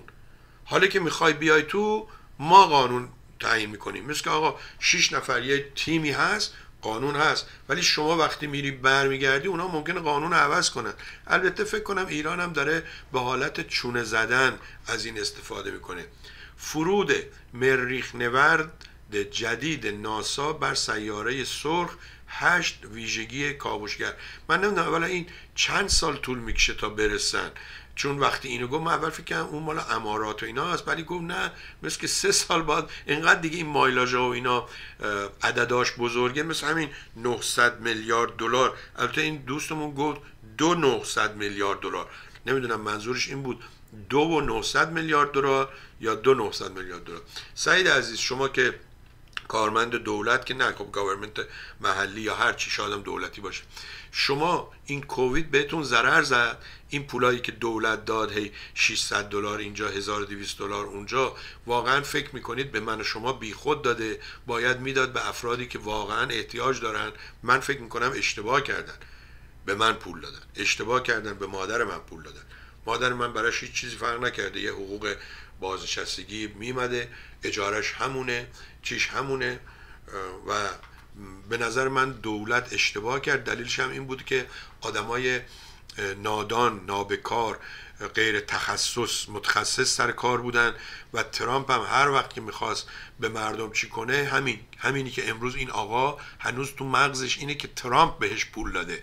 دیگه خیلی حالا حرمت گذاشت به من و شما گفت که ترامپ پول داد ولی مجلس امضا کرد. یه بار دیگه براتون بذارم اینو. باور کنید خود من سه چهار بار این پیام گوش دادم به دو دلیل.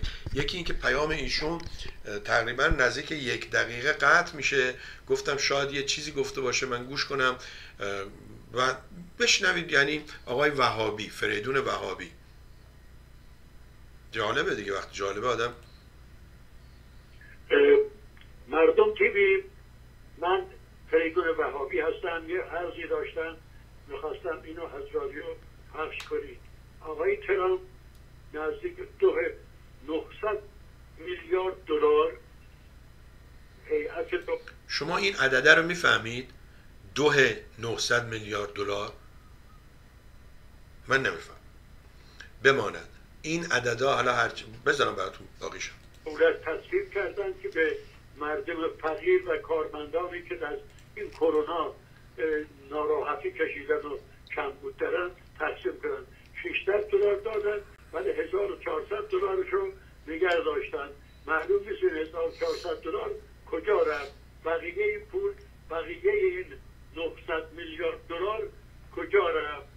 لطفا شما اینو از رادیو پخش کنید از مسئولین امور بخواهید ببینید که این پولا را آقای بایدن چرا پرداخت نکرد به کارمندان بیکار شده ضرر دیده از کرونا. بسیار ممنونم. سعید میگه که سفینه ساتلایت امارات تا جو مارس رفته. سفینه آمریکا هست که دیروز به مارس رسید و ماشین عکس برداری پیاده کرد. حرکت کرد و عکس فرستاد. یکی از عکسایی که فرستاد تد کروز هم کره مریخ بود چون شنیده بود اونجا گرمه و این آدم دروغگو واقعا امکان داره کسی به این پلیدی باشه کسی به این پس فطرتی باشه و دیشب جیمی کمل خیلی قشنگ می‌گفت. می‌گفت اگه این احمق اول برنامه هم گفتم انقدر خودشو به ترامپ نچسبونده بود اصلا مردم نمیشناسنش. با این قیافه و با این شکمش و با ریشی که گذاشته و با ماسکی که زده ولی از بس از این تلویزیون به اون تلویزیون رفت و اینها چیز شد. به اصطلاح شناختنش و عکس گرفتن و آبروش رفت و مجبور شد برگرده. منظورش حتمی دو میلیارد و 900 میلیون دلار است. خیلی ممنون متشکرم. منم همین فکر کنم. و ترامپ اون 600 دلاری هم که داد منظور یعنی هدفش این بود که مردم حالا بهش رأی بدن. دموکرات ها از این زرنگتر گفتن اگه به ما رأی بدیم ما 1400 دلار هم میدیم. و اینه که حالا 1400 دلار رو آقای وهابی. منتظر باش بایدن بهت میده. از امروز روزی 17 رکت نماز برای سلامتی بایدن بخون. خب دوستان عزیز ساعت 3 و 26 دقیقه است و مطلب زیاد دارم. اولا اینکه شما هم می‌تونید در تلویزیون مردم برنامه داشته باشید. برای اینکه جواب داده باشم به آقای کردار من یه دفعه گفتم بهتون یار دبستانی من که آهنگسازش و شاعرش و اینا آقای منصور تهرانی هست. با ایشون تماس گرفتم. گفتم ما می‌خوایم اینو به عنوان اوپنینگ برنامهمون بذاریم. خندید. گفتم آقا چرا میخندی؟ گفت آقا همه اینو می‌ذارن اجازه نگرفتن. ولی شما می‌خوای اجازه بگیری. نگران اجازه نباش. اون لینک رو بفرست. ما برات پخش می‌کنیم و بعد از برنامه من ساعت چهار بعد از ظهر آقای حسن ارشاد جلسه شماره 306 مین برنامه خودشون رو که اختصاص دادن به بررسی کتاب خاطرات خلیل شهیدی خادم عبدالبها برای شما پخش می‌کنن. حتما ببینید. پشیمانی طرفدار ترامپ که میگه پولم رو پس بده اون اقلا دو میلیون و نیم پول داده و حالا قانونا می‌خواد اون پولش رو پس بگیره. شماها اگه پول دادین به ترامپ باد شد و شعره چی بود؟ خانم فتانه میکن باد شد و هوا رفت. طوفان برف در آمریکا همین دیروز ما اینجا یک برف خیلی زشتی داشتیم. برف خیلی کم بود ولی بارون یخزده بود و اینها خیلی افتضاح بود. ولی با همه اینا من مجبور بودم برم بیرون رفتم و آمدم و پیام بینندرم پخش کردم دوبارم پخش کردم. آقای وهابی حتما 1400 دلار شما میاد چون این بار آقای بایدن قول داده. ضمنا باز همونجوری که بهتون گفتم این پالتو آقای بایدن رو نگاه کنید. می‌خوام بهش بگم آقای پالتو بلندتری ولی این پالتوهای اینجوری معمولا اونایی که تو اداره کار می‌کنن. توی office کار می‌کنن این پالتوهای کوتاهتر میپوشن که بین coat هست و پالتو. ولی اون پالتویی که ترامپ میپوشید ما به تو شیراز میگیم مثل ملای جودا مثل خاخامای کلیمیا. این میپوشید که هر جاشم بخواد بتونه یه چیزی یه جا بدوزه کش بره بذاره تو جیبش. خب پیام آقای وهابی رو ما پاک می‌کنیم و بریم سراغ پیام های دیگه که براتون گذاشتم. سگهای کرونا کرونایاب وفاترین دوست بشر در میان حیوانات باز هم به کمک ما می آید و اما سرقت مسلحانه از خبرنگار اکوادوری هنگام پخش زنده طرف داشته برنامه زنده پخش می‌کرده میان وای میسن بغلش با هفتیر گوشیشو ازش می‌گیرن و میرن. ترکیه برای بازگشت به پروژه ساخت F-35 مشاور حقوقی استخدام کرد. گویا ترکیه قرارداد نوشته بوده که اینا رو از آمریکا بخره ولی وقتی با روسیه معامله می‌کنه آمریکا زمان ترامپ اون موقع زیر قولش و اینا می‌زنه ولی حالا مثل که می‌خوان یقش رو بگیرن. و چیزی که خبرها رو دیروز به اصطلاح مشغول خودش کرد این عکس و ماجرای کرونا چی بهش میگن واکسن زدن شهاب حسینی. از اون به اصطلاح حاشیه دارتر شدن ما وقتا نمی‌گفتیم حاشیه. حاشیه دارتر شدن این ماسکیه که رو صورت اینه. اینجا ببینی این ماسکی که زده این برگ ماریجوانا یا همون شاهدانه خودمونه که تو ایران گویا به اینا گل میگن. اینایی که الان ماریجوانا می‌کشن بهشون میگن گل. و میگن چرا این اینو زده و بعدم چرا اومده آمریکا واکسن زده؟ یه نفر گفت خب آقا شما مگه پول داشتی و می‌تونستی؟ می‌رفتی یه جا می‌زدی. خود من چند بار به فکر افتادم که برم وست ویرجینیا. چون وست ویرجینیا نشسته میگه بیاین شما بزنیم ما منتظریم کسی نمیاد. چرا؟ وست ویرجینیا یه مقداری طرفدار ترامپ احمقن هنوز فکر کنن تو این واکسن ها جن ممکنه جن بره تو وجودشون. 40 درصدشون گفتن ما نمی‌زنیم. بله. آقایی به نام میسم. من فامیلی ایشون رو نمیگم این آقا هم در نوع خود بی‌نظیره. یه بار مقاله می اسم می‌ذاره بعد میگه اسم من نگید و فلان اینا. کارمون خیلی خرابه. نوشته البته جای مقایسه افراد بیهویتی چون رامبد جوان محمد رضا گلزار شهاب حسینی نیست.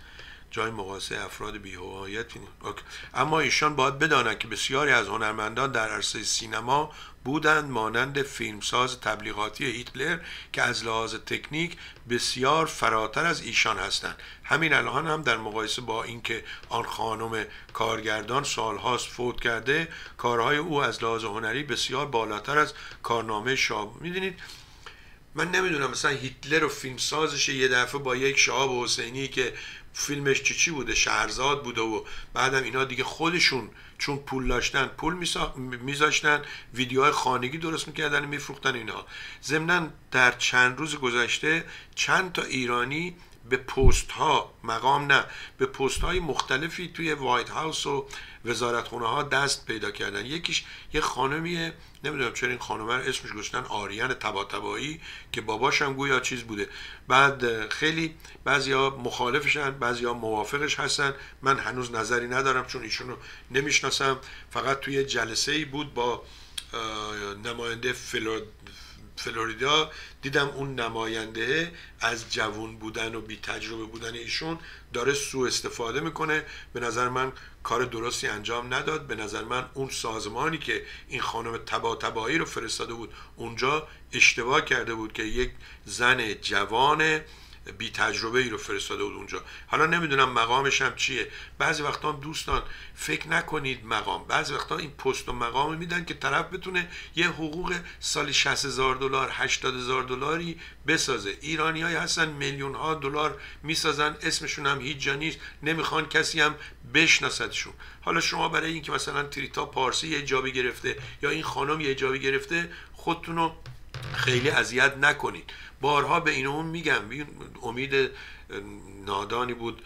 خیلی نادانا داریم. دانیال امیدی. بهش میگم آقا تو اینقدر وایسادی گلو خودتو پاره می‌کنی فوش میدی به نیاک. بدبخت برو تبلیغ رضا پهلوی رو بکن. برو تبلیغ ترامپ رو بکن. البته فکر کنم از روزی که اومد اینجا به اصطلاح دیگه چیزی نمی‌بینم ازش. البته من بلاکشم کردم. فکر کنم اف بی آی چیزی دنبالشه. در صورت اینم از این ماجرا. خب دوستان شما کلا نظرتون چیه؟ آیا سیستم آمریکا به نظرتون برگشته به یک معمول نرم درست حسابی؟ از لحاظ واکسن و اینها می‌بینیم که تلاششون دارن می‌کنن. یه روز دو میلیون واکسن زدن. دیروز گویا شنیدم رسیده به سه میلیون. بعد میگن انقدر این باز خراب کرده و ارد سفارش نداده و ول کرده رفته که مثل این مونی که شما یه مغازه خالی رو باز کنی مشتریان پشت در. نمی‌تونی بهشون بگی مغازه خالیه میان میریزن همه چیزا رو میشکنن. اگرم بگی خب بیان تو چجوری بگیم بیان تو؟ کی بیاد تو؟ اول 85 ساله ها بیان 80 ساله بیان. ولی این وسط بنده اولین واکسن رو زدم. فبروری 15 امروز چندم چهار روز پنج روز پیش زدم. باید از یخبندون و اینها تشکر کنم. چون یه جایی ثبت نام کرده بود بعد افرادی که نیامده بودن گفت بودن این واکسن ها خراب میشه. بعد برستادن ایمیل برای ماها که ثبت نام کرده بودیم که هر وقت نوبتمون شد یه مادی از پنج ساله میشه.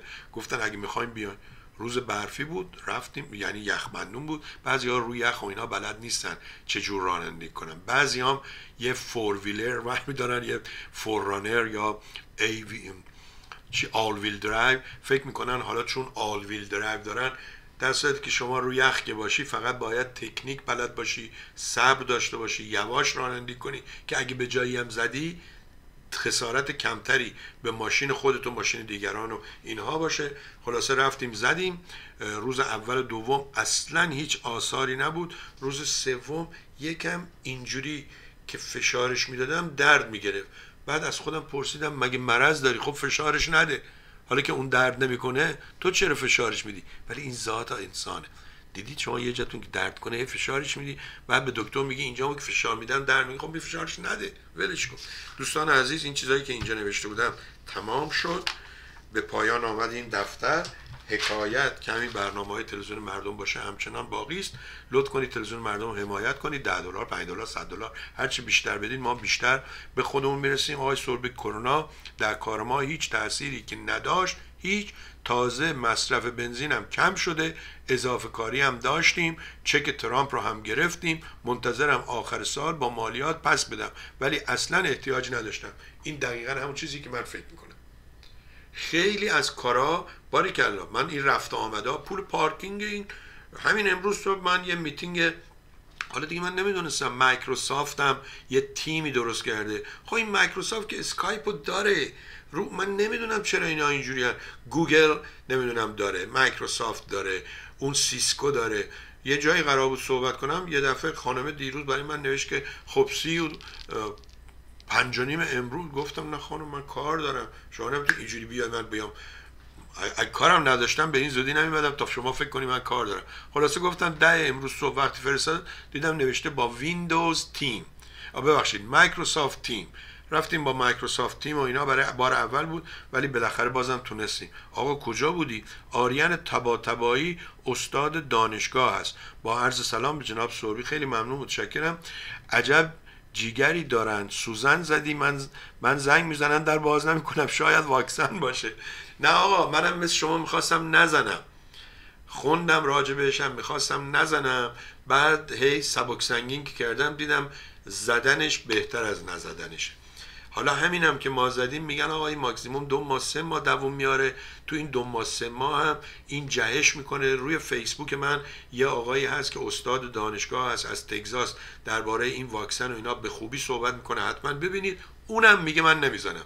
و اما راجع به استاد دانشگاه بودن این دانشگاه اینجا شما ممکنه همون تو ایران هم اینجوری بود. ما بهتون گفتم استاد فیزیک ما یا معلم فیزیک ما تو دبیرستان احمدی یه آقای دانشجوی دانشگاه پهلوی بود که سال دوم بود. اینا بعض وقتا این روش رو دارن. مثلا طرف داره فوق لیسانس می‌گیره یا داره برای پی اچ دی درس می‌خونه. اینو به عنوان استادیار یا حتی استاد دانشگاه یه جای استخدام می‌کنن. چند تا حسن داره. حسنش اینه که اینا یه حقوقی می‌گیرن کمک خرجشون میشه. حسنش اینه که اونا مجبور نیستن استادای گرون رو استخدام کنن. حسنش اینه که اینجا طرف هم درس می‌کنه هم درس میده همه به نفعشونه و اینجوره که اینجا تو هر کوچه ای میری یه دانشگاهه من نوم و دیروز سوار کردم از اینجا میپیچم میگه مدرسه کوچه شما کجان؟ اولا متوجه نمیشم. میگم مدرسه یعنی چی؟ چون تعطیل بود مدرسه نرفت مدرسه بعد به این نتیجه رسیدیم که اینا از بس مدرسه می‌بینن. تو هر کوچه پس کوچه ای فکر می‌کنن هر کوچه ای باید یه مدرسه داشته باشه. اون وقت دولت شاه یکی از کارهای بزرگش این بود که ما می‌خوایم 2500 تا مدرسه بسازیم. یه احمق نبود از خودش بپرسه حتما باید جشن 2500 ساله برقرار کنی تا 2500 تا مدرسه بسازی؟ احمقانه می‌شد قبل از این بسازی به جای تابلو کلکسن فرع نمی‌دونم مدرسه بسازی؟ یه چیزی دیگه براتون بگم. این دهاتی رو که نشون میده یه نفر با بچهش داره روی درختی راه میره که از رودخونه بره. آقا گور پدر شاه گور پدر خمینی گور خود پدر خدا گور پدر اماما گور پدر پیغمبر. اصلا بیان من اعدام کنی. ولی این مردم ببخشید نباید بگیم گور پدر خودشون. آقا تنت بیل خورده دو تا درخت بکن بنداز رو این. یه بچه رو می‌گیره بغل یه دختری هم پشتشه دارن روی درختی میرن. خب این درخته لابد یه جاییه که درخت زیاده. دو تای دیگه شو بکن بنداز اونجا. تا کی می‌خوای بشینی منتظر دولتی که خودت می‌دونی دولت ها دزدن. مگر اینکه شما مثل آقای وهابی 600 دلار گرفتی حالا نشستی منتظر 1400 دلار بعدم تازه با اون تلویزیونایی که نگاه می‌کنه زنگ نمی‌زنه یا حمایت می‌کنه. به من زنگ می‌زنه رادیو مردم زنگ بزن ببین این بایدن با پول ما چه کار کرد؟ اگر اشتباه نکنم ایشون دختر دکتر سید جواد تباتبایی هستن. البته از آنجایی که خانم آریان تباتبایی مقایر آمریکا هستن انتخاب و عدم انتخاب ایشان به آمریکایی ها رب داره و به من ایرانی که در ایران زندگی می‌کنم ارتباطی نداره. می‌گفت پول ساختن مدرسه ها را هم مردم بدن. آی دمت گرم. همینجوری حرف می‌زنی. درست حرف می‌زنی منطقی حرف می‌زنی که این شاه الله یا دشمنتن بله من یادم رفت. دقیقا توی اونم گفت ما می‌خوایم حالا پول 2500 تا مدرسه رو از مردم جمع کنیم. ای ننگ بر شما باد. و این پولا رو دادی آخونده هی امامزاده درست کردن هی سربازی نرفتن بعد جوون مردم رو بردی. بدون حقوق دو سال خانوادهایی که به این بچه ها نیاز داشتن اینجوری اسیرشون کردی. یه اشتباه و دو اشتباه و صد اشتباه نبوده. چجوریه که این آقای اعتشامی هنرمند خوب ما از آلمان میگه آقا من وقتی برنامه شما رو نگاه کردم دیدم ای بابا من اصلا داشتم چی گوش می‌دادم؟ اینا چه مزخرفاتی به خورد من دادن؟ خب بیان بشینید صحبت کنید یا برید بشینید تلویزیون ایران آریایی گوش کنید. که ما سه هزار سال پیش زنای حاملمون حقوق بهشون می‌دادیم. یکی نیست بگه مردک. اون موقع زن حامله می‌رفته چه کار می‌کرده؟ تو دستگاه کوروش و داریوش. یا یکی دیگه نوشته بود که در قدیم ایرانیا وقتی می‌خواستن برن جنگ زناشون و همراهشون میبردن که قدرت بگیرن. آقا ولمون کنید. این نمی‌دونم گزنفون و اون یکی دیگه تاریخ نویسا و اینا یه مشتی مزخرفی نوشتن شما سرتون چسبوندین به اینا. هی حالا بودین هر چی بودین. حالا چی؟ یکی دیگه ما زیباترین زن نمی‌دونم فرمانده فلان. گفتم آقا مردان نبودن. یه زن دریانورد یونانی رو آورده بودن. اسمش هم که معلومه که چیه اسمش؟ آراستامیروس ما این اسم ایرانیه. بس بنزه کافی دشمن.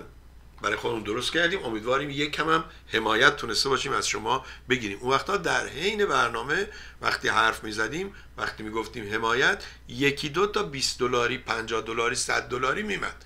حالا فقط آقای شهرام همایون میگه آفرین به گول آفرین گرد آفرین 50 دلار داد 100 دلار داد. حتما حتما شما در ایران آینده نقشی داری. یعنی اگه ما برنده شدیم حتما به شما هم یه پستی مقامی میدیم. خب آرتیموس. بله یکی همین آرتیموس رو بخونه. حساب معروف به 7 بود که برای ساختن مدرسه در دور من نمی‌فهمم این بیویه پیویه؟ حساب معروف به 7 نمی‌دونم که پول برای ساختن مدرسه در دوره شاه این ساختمون های نشون میده الان مردم مخصوصا طرف های اندیمشک طرف های آقاجاری. بعد طرف میگه آقا نگاه کن مردم رو نفتن ولی خونه ها اینجوریه. من مینسم خدا لعنت کنه این آخونده رو. من اینجا بودم چه ساختمون های پنج طبقه 26 طبقه فلان من... بعد طرف میگه آقا کجای آقاجاری شما بودی؟ همچی چیزی نبود. میگم والا من بودم. ساختمون نبود. از ترس این احمقای شاولایی میگم که خود شما بنویسید آقا همچین مزخرفی نبوده. دروغ نگو. آقا اینا اومدن ولی نیومدن که اون رو خراب کنن که. همین آقای معتزدی که من خوشم ازش نمیاد این چاقالوی فسقلی که انقدر دروغ گفت میگه خب حالا فردان بیاین نگاه کنید ببینید اینا چقدر چی ساختن. اینا که نساختن. پول مردمه. پول نفته. می‌سازن که تازه از قبالش یه کیکبک بگیرن. یه پولی رو دیروز برای من یه دوستی فرستاده بود. آها حساب شماره هفت. P7 خیلی ممنون.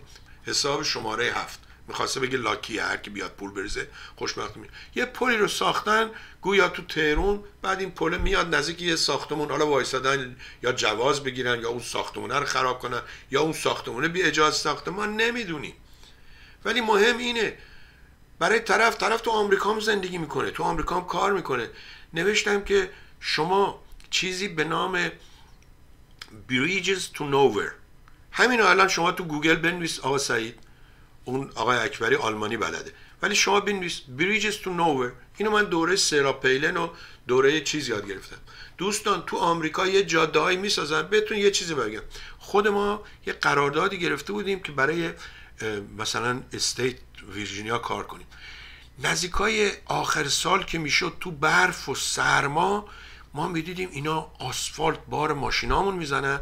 میگن برین خالی کنین تو زبالدونی گفتیم خدایا خب این شن رو می‌برن با غیر و اینا. شما یه بار شن 100 دلاره ولی یه بار آسفالت 700 800 دلار گرونتر نباشه.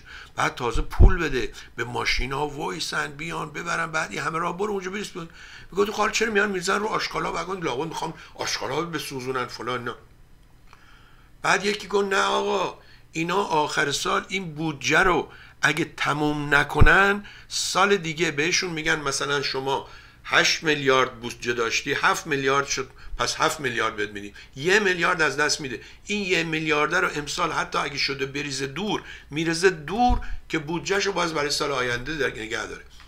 آقای دوست ما نشسته اینجا آقای وهابی منتظر 1400 دلارش چون 600 دلار بهش پول مفت دادن.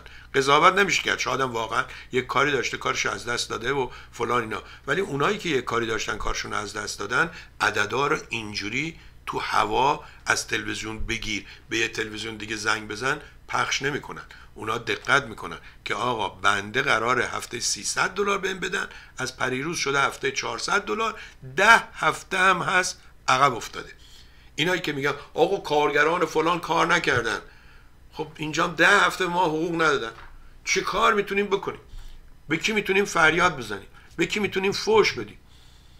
اون ماجرایی بود که طرف گفت آقا کشور ما خیلی آزاده. ما می‌تونیم بریم جلو وایت هاوس. بگیم مثلا ترامپ این ترامپ اون. طرف تو ایران گفت کشور ما هم آزاده. ما می‌تونیم بیرون بیرون بیرون. هر روز بگیم مرگ بر ترامپ. این هم همینجور شده. اقلا تو ایران میره جلو نمی‌دونم چیش صنعت فوش میده. مال ما رو خوردین ما مال باخته هستیم فلان. یه مش آدم تمخون خام تمه پولتون رو بردین گذاشتین سی درصد سود ببرین. از خودت نپرسیدی. آقا سوربی تا این پول می‌خوای بذاری سی درصد این اکبری بیچاره می‌خواد بیاد وام بگیره باید از اون سی و پنج درصد چل درصد نزول بگیرن. اون وقت خونه ای که اون می‌سازه سال دیگه سی و پنج درصد گرونتره. دارید چه کار می‌کنید با اقتصاد ایران؟ حکومت خر دولت خر مردمم باید بگیم خرتر. باید بگیم خرتر. چون اگه خرتر نبودن نمی‌رفتن پولشونو بدن به دولت. حالا برن وایسن التماس کنن پولشونو بگیرن. یا یه سری بازنشست بدبخت بیکار بلند میشن میرن ما حقوقمون کمه. خب بازنشست چه نیرویه؟ تو حقوق کمه. خب میره اونجا. حالا چیکار می‌کنه؟ تا موقعی کارگرا اعتصاب نکنه هیچ تکون نمی‌خوره. ببینیم این برامون چی فرستاده. آقای بله بریجز تو نوور دوستان بیان. این صفحه رو اصلا یکی دو تا ده تا نیست. من عکس‌ها رو بهتون نشون بدم. لینکشو گذاشته. خودتون رو فیسبوک نگاه کنید. بریجز تو نوور تعجب کردم وقتی که اون دوستمون خبر نداشت یه همچی چیزایی. بعد گفت خب چرا می‌سازن؟ گفتم ببین عزیز من اون کیکبک یا اون کمیشن فکر کنم تو ایران بهش میگن رانت اون چیزی که من مثلا با آقای اکبری میگم آقای اکبری حالا هر مثال بعدی هست میگیم آقای اکبری. آقای اکبری من دارم اینجا کار می‌کنم یه بودجه دارم. شما یه شرکت ساختمونی درست کن علکی. من قراردار لار و لامرد میدم به شما ولی بابت هر یه میلیون دلار که بهت دادم 300 هزار دلار شه بریز به حساب پسر من. پولرم میچرخونن که پیدا نشه. همین آقای علی پروین برید ببینید چه کار کرده با پسرش. کسافت هایی هستن. هیچ وقت از این مرد خوشم نمیاد با وجود که من فوتبال دنبال نمی‌کردم. برید ببینید اینا چه کار کردن. شاه حسینی تنها نیست فلان خانم تنها نیست فلان آقای تنها نیستین. همهشون کسافتن. از اول بگی تا آخر. روز روزگار بر شما خوش به امید آخر هفته خوبی برای شما. بازم بهتون میگم شما می‌تونید در تلویزیون مردم برنامه داشته باشید. اگه این برنامه رو از یوتیوب تماشا می‌کنید حتما subscribe بشید و اون زنگوله رو هم بزنید که براتون هر وقت ما ویدیو می‌ذاریم بلا فاصله براتون بیاد. ضمنا اگر حالا پول نمیدی okay. ویدیویی داری چیزی داری که دوست داری می‌تونی روی مردم Report dot com مردم Report dot com.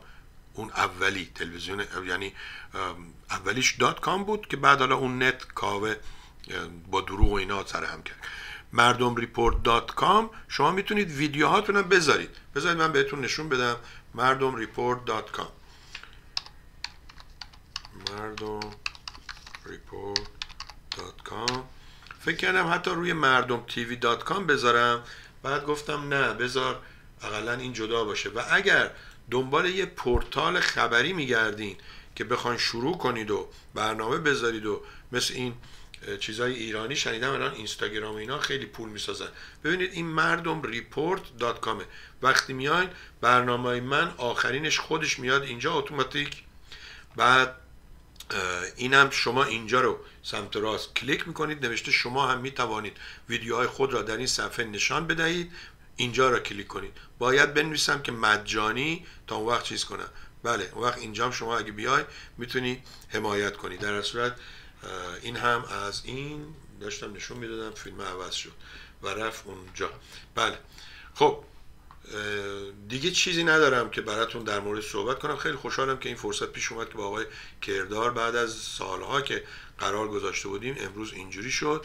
بتونیم صحبت کنیم و ما هم بریم یکی دو روز شنبه و یه شنبه استراحت کنیم. در که ما شنبه و یه شنبه بیشتر کار می‌کنیم تا ببینیم چی میشه. حتما این پلهای یا پلهای به, به ناکجا یا ناکجا آباد یا پلهای به هیچ جا به نگاه کنید پل ساختن همینجور سرش تو هوا. شما اگه بری میفتی پایین. پل ساختن میره تو جنگل. پل ساختن میره تو آب. پل ساختن میره تو سنگ. پل ساختن دو طرفش بازه. سیمانا و اینا اونجایی که پول زیاد می‌گرفته آوردن ولی به جایی نمی‌رسه. این هم هست ماجرای دولت ها در دنیا و دولت ایران هم از این قانون دزدی اختلاس چی میگن دیگه باج خوردن و اینها مستثنا نیست. حالا ببینم شما اگه بشی مسئول دولت چه کار می‌کنی؟ مرسی که با ما بودید. روز روزگار بر شما عزیزان خوش. به امید روزهای بهتر و آیندهی روشنتر. مرسی.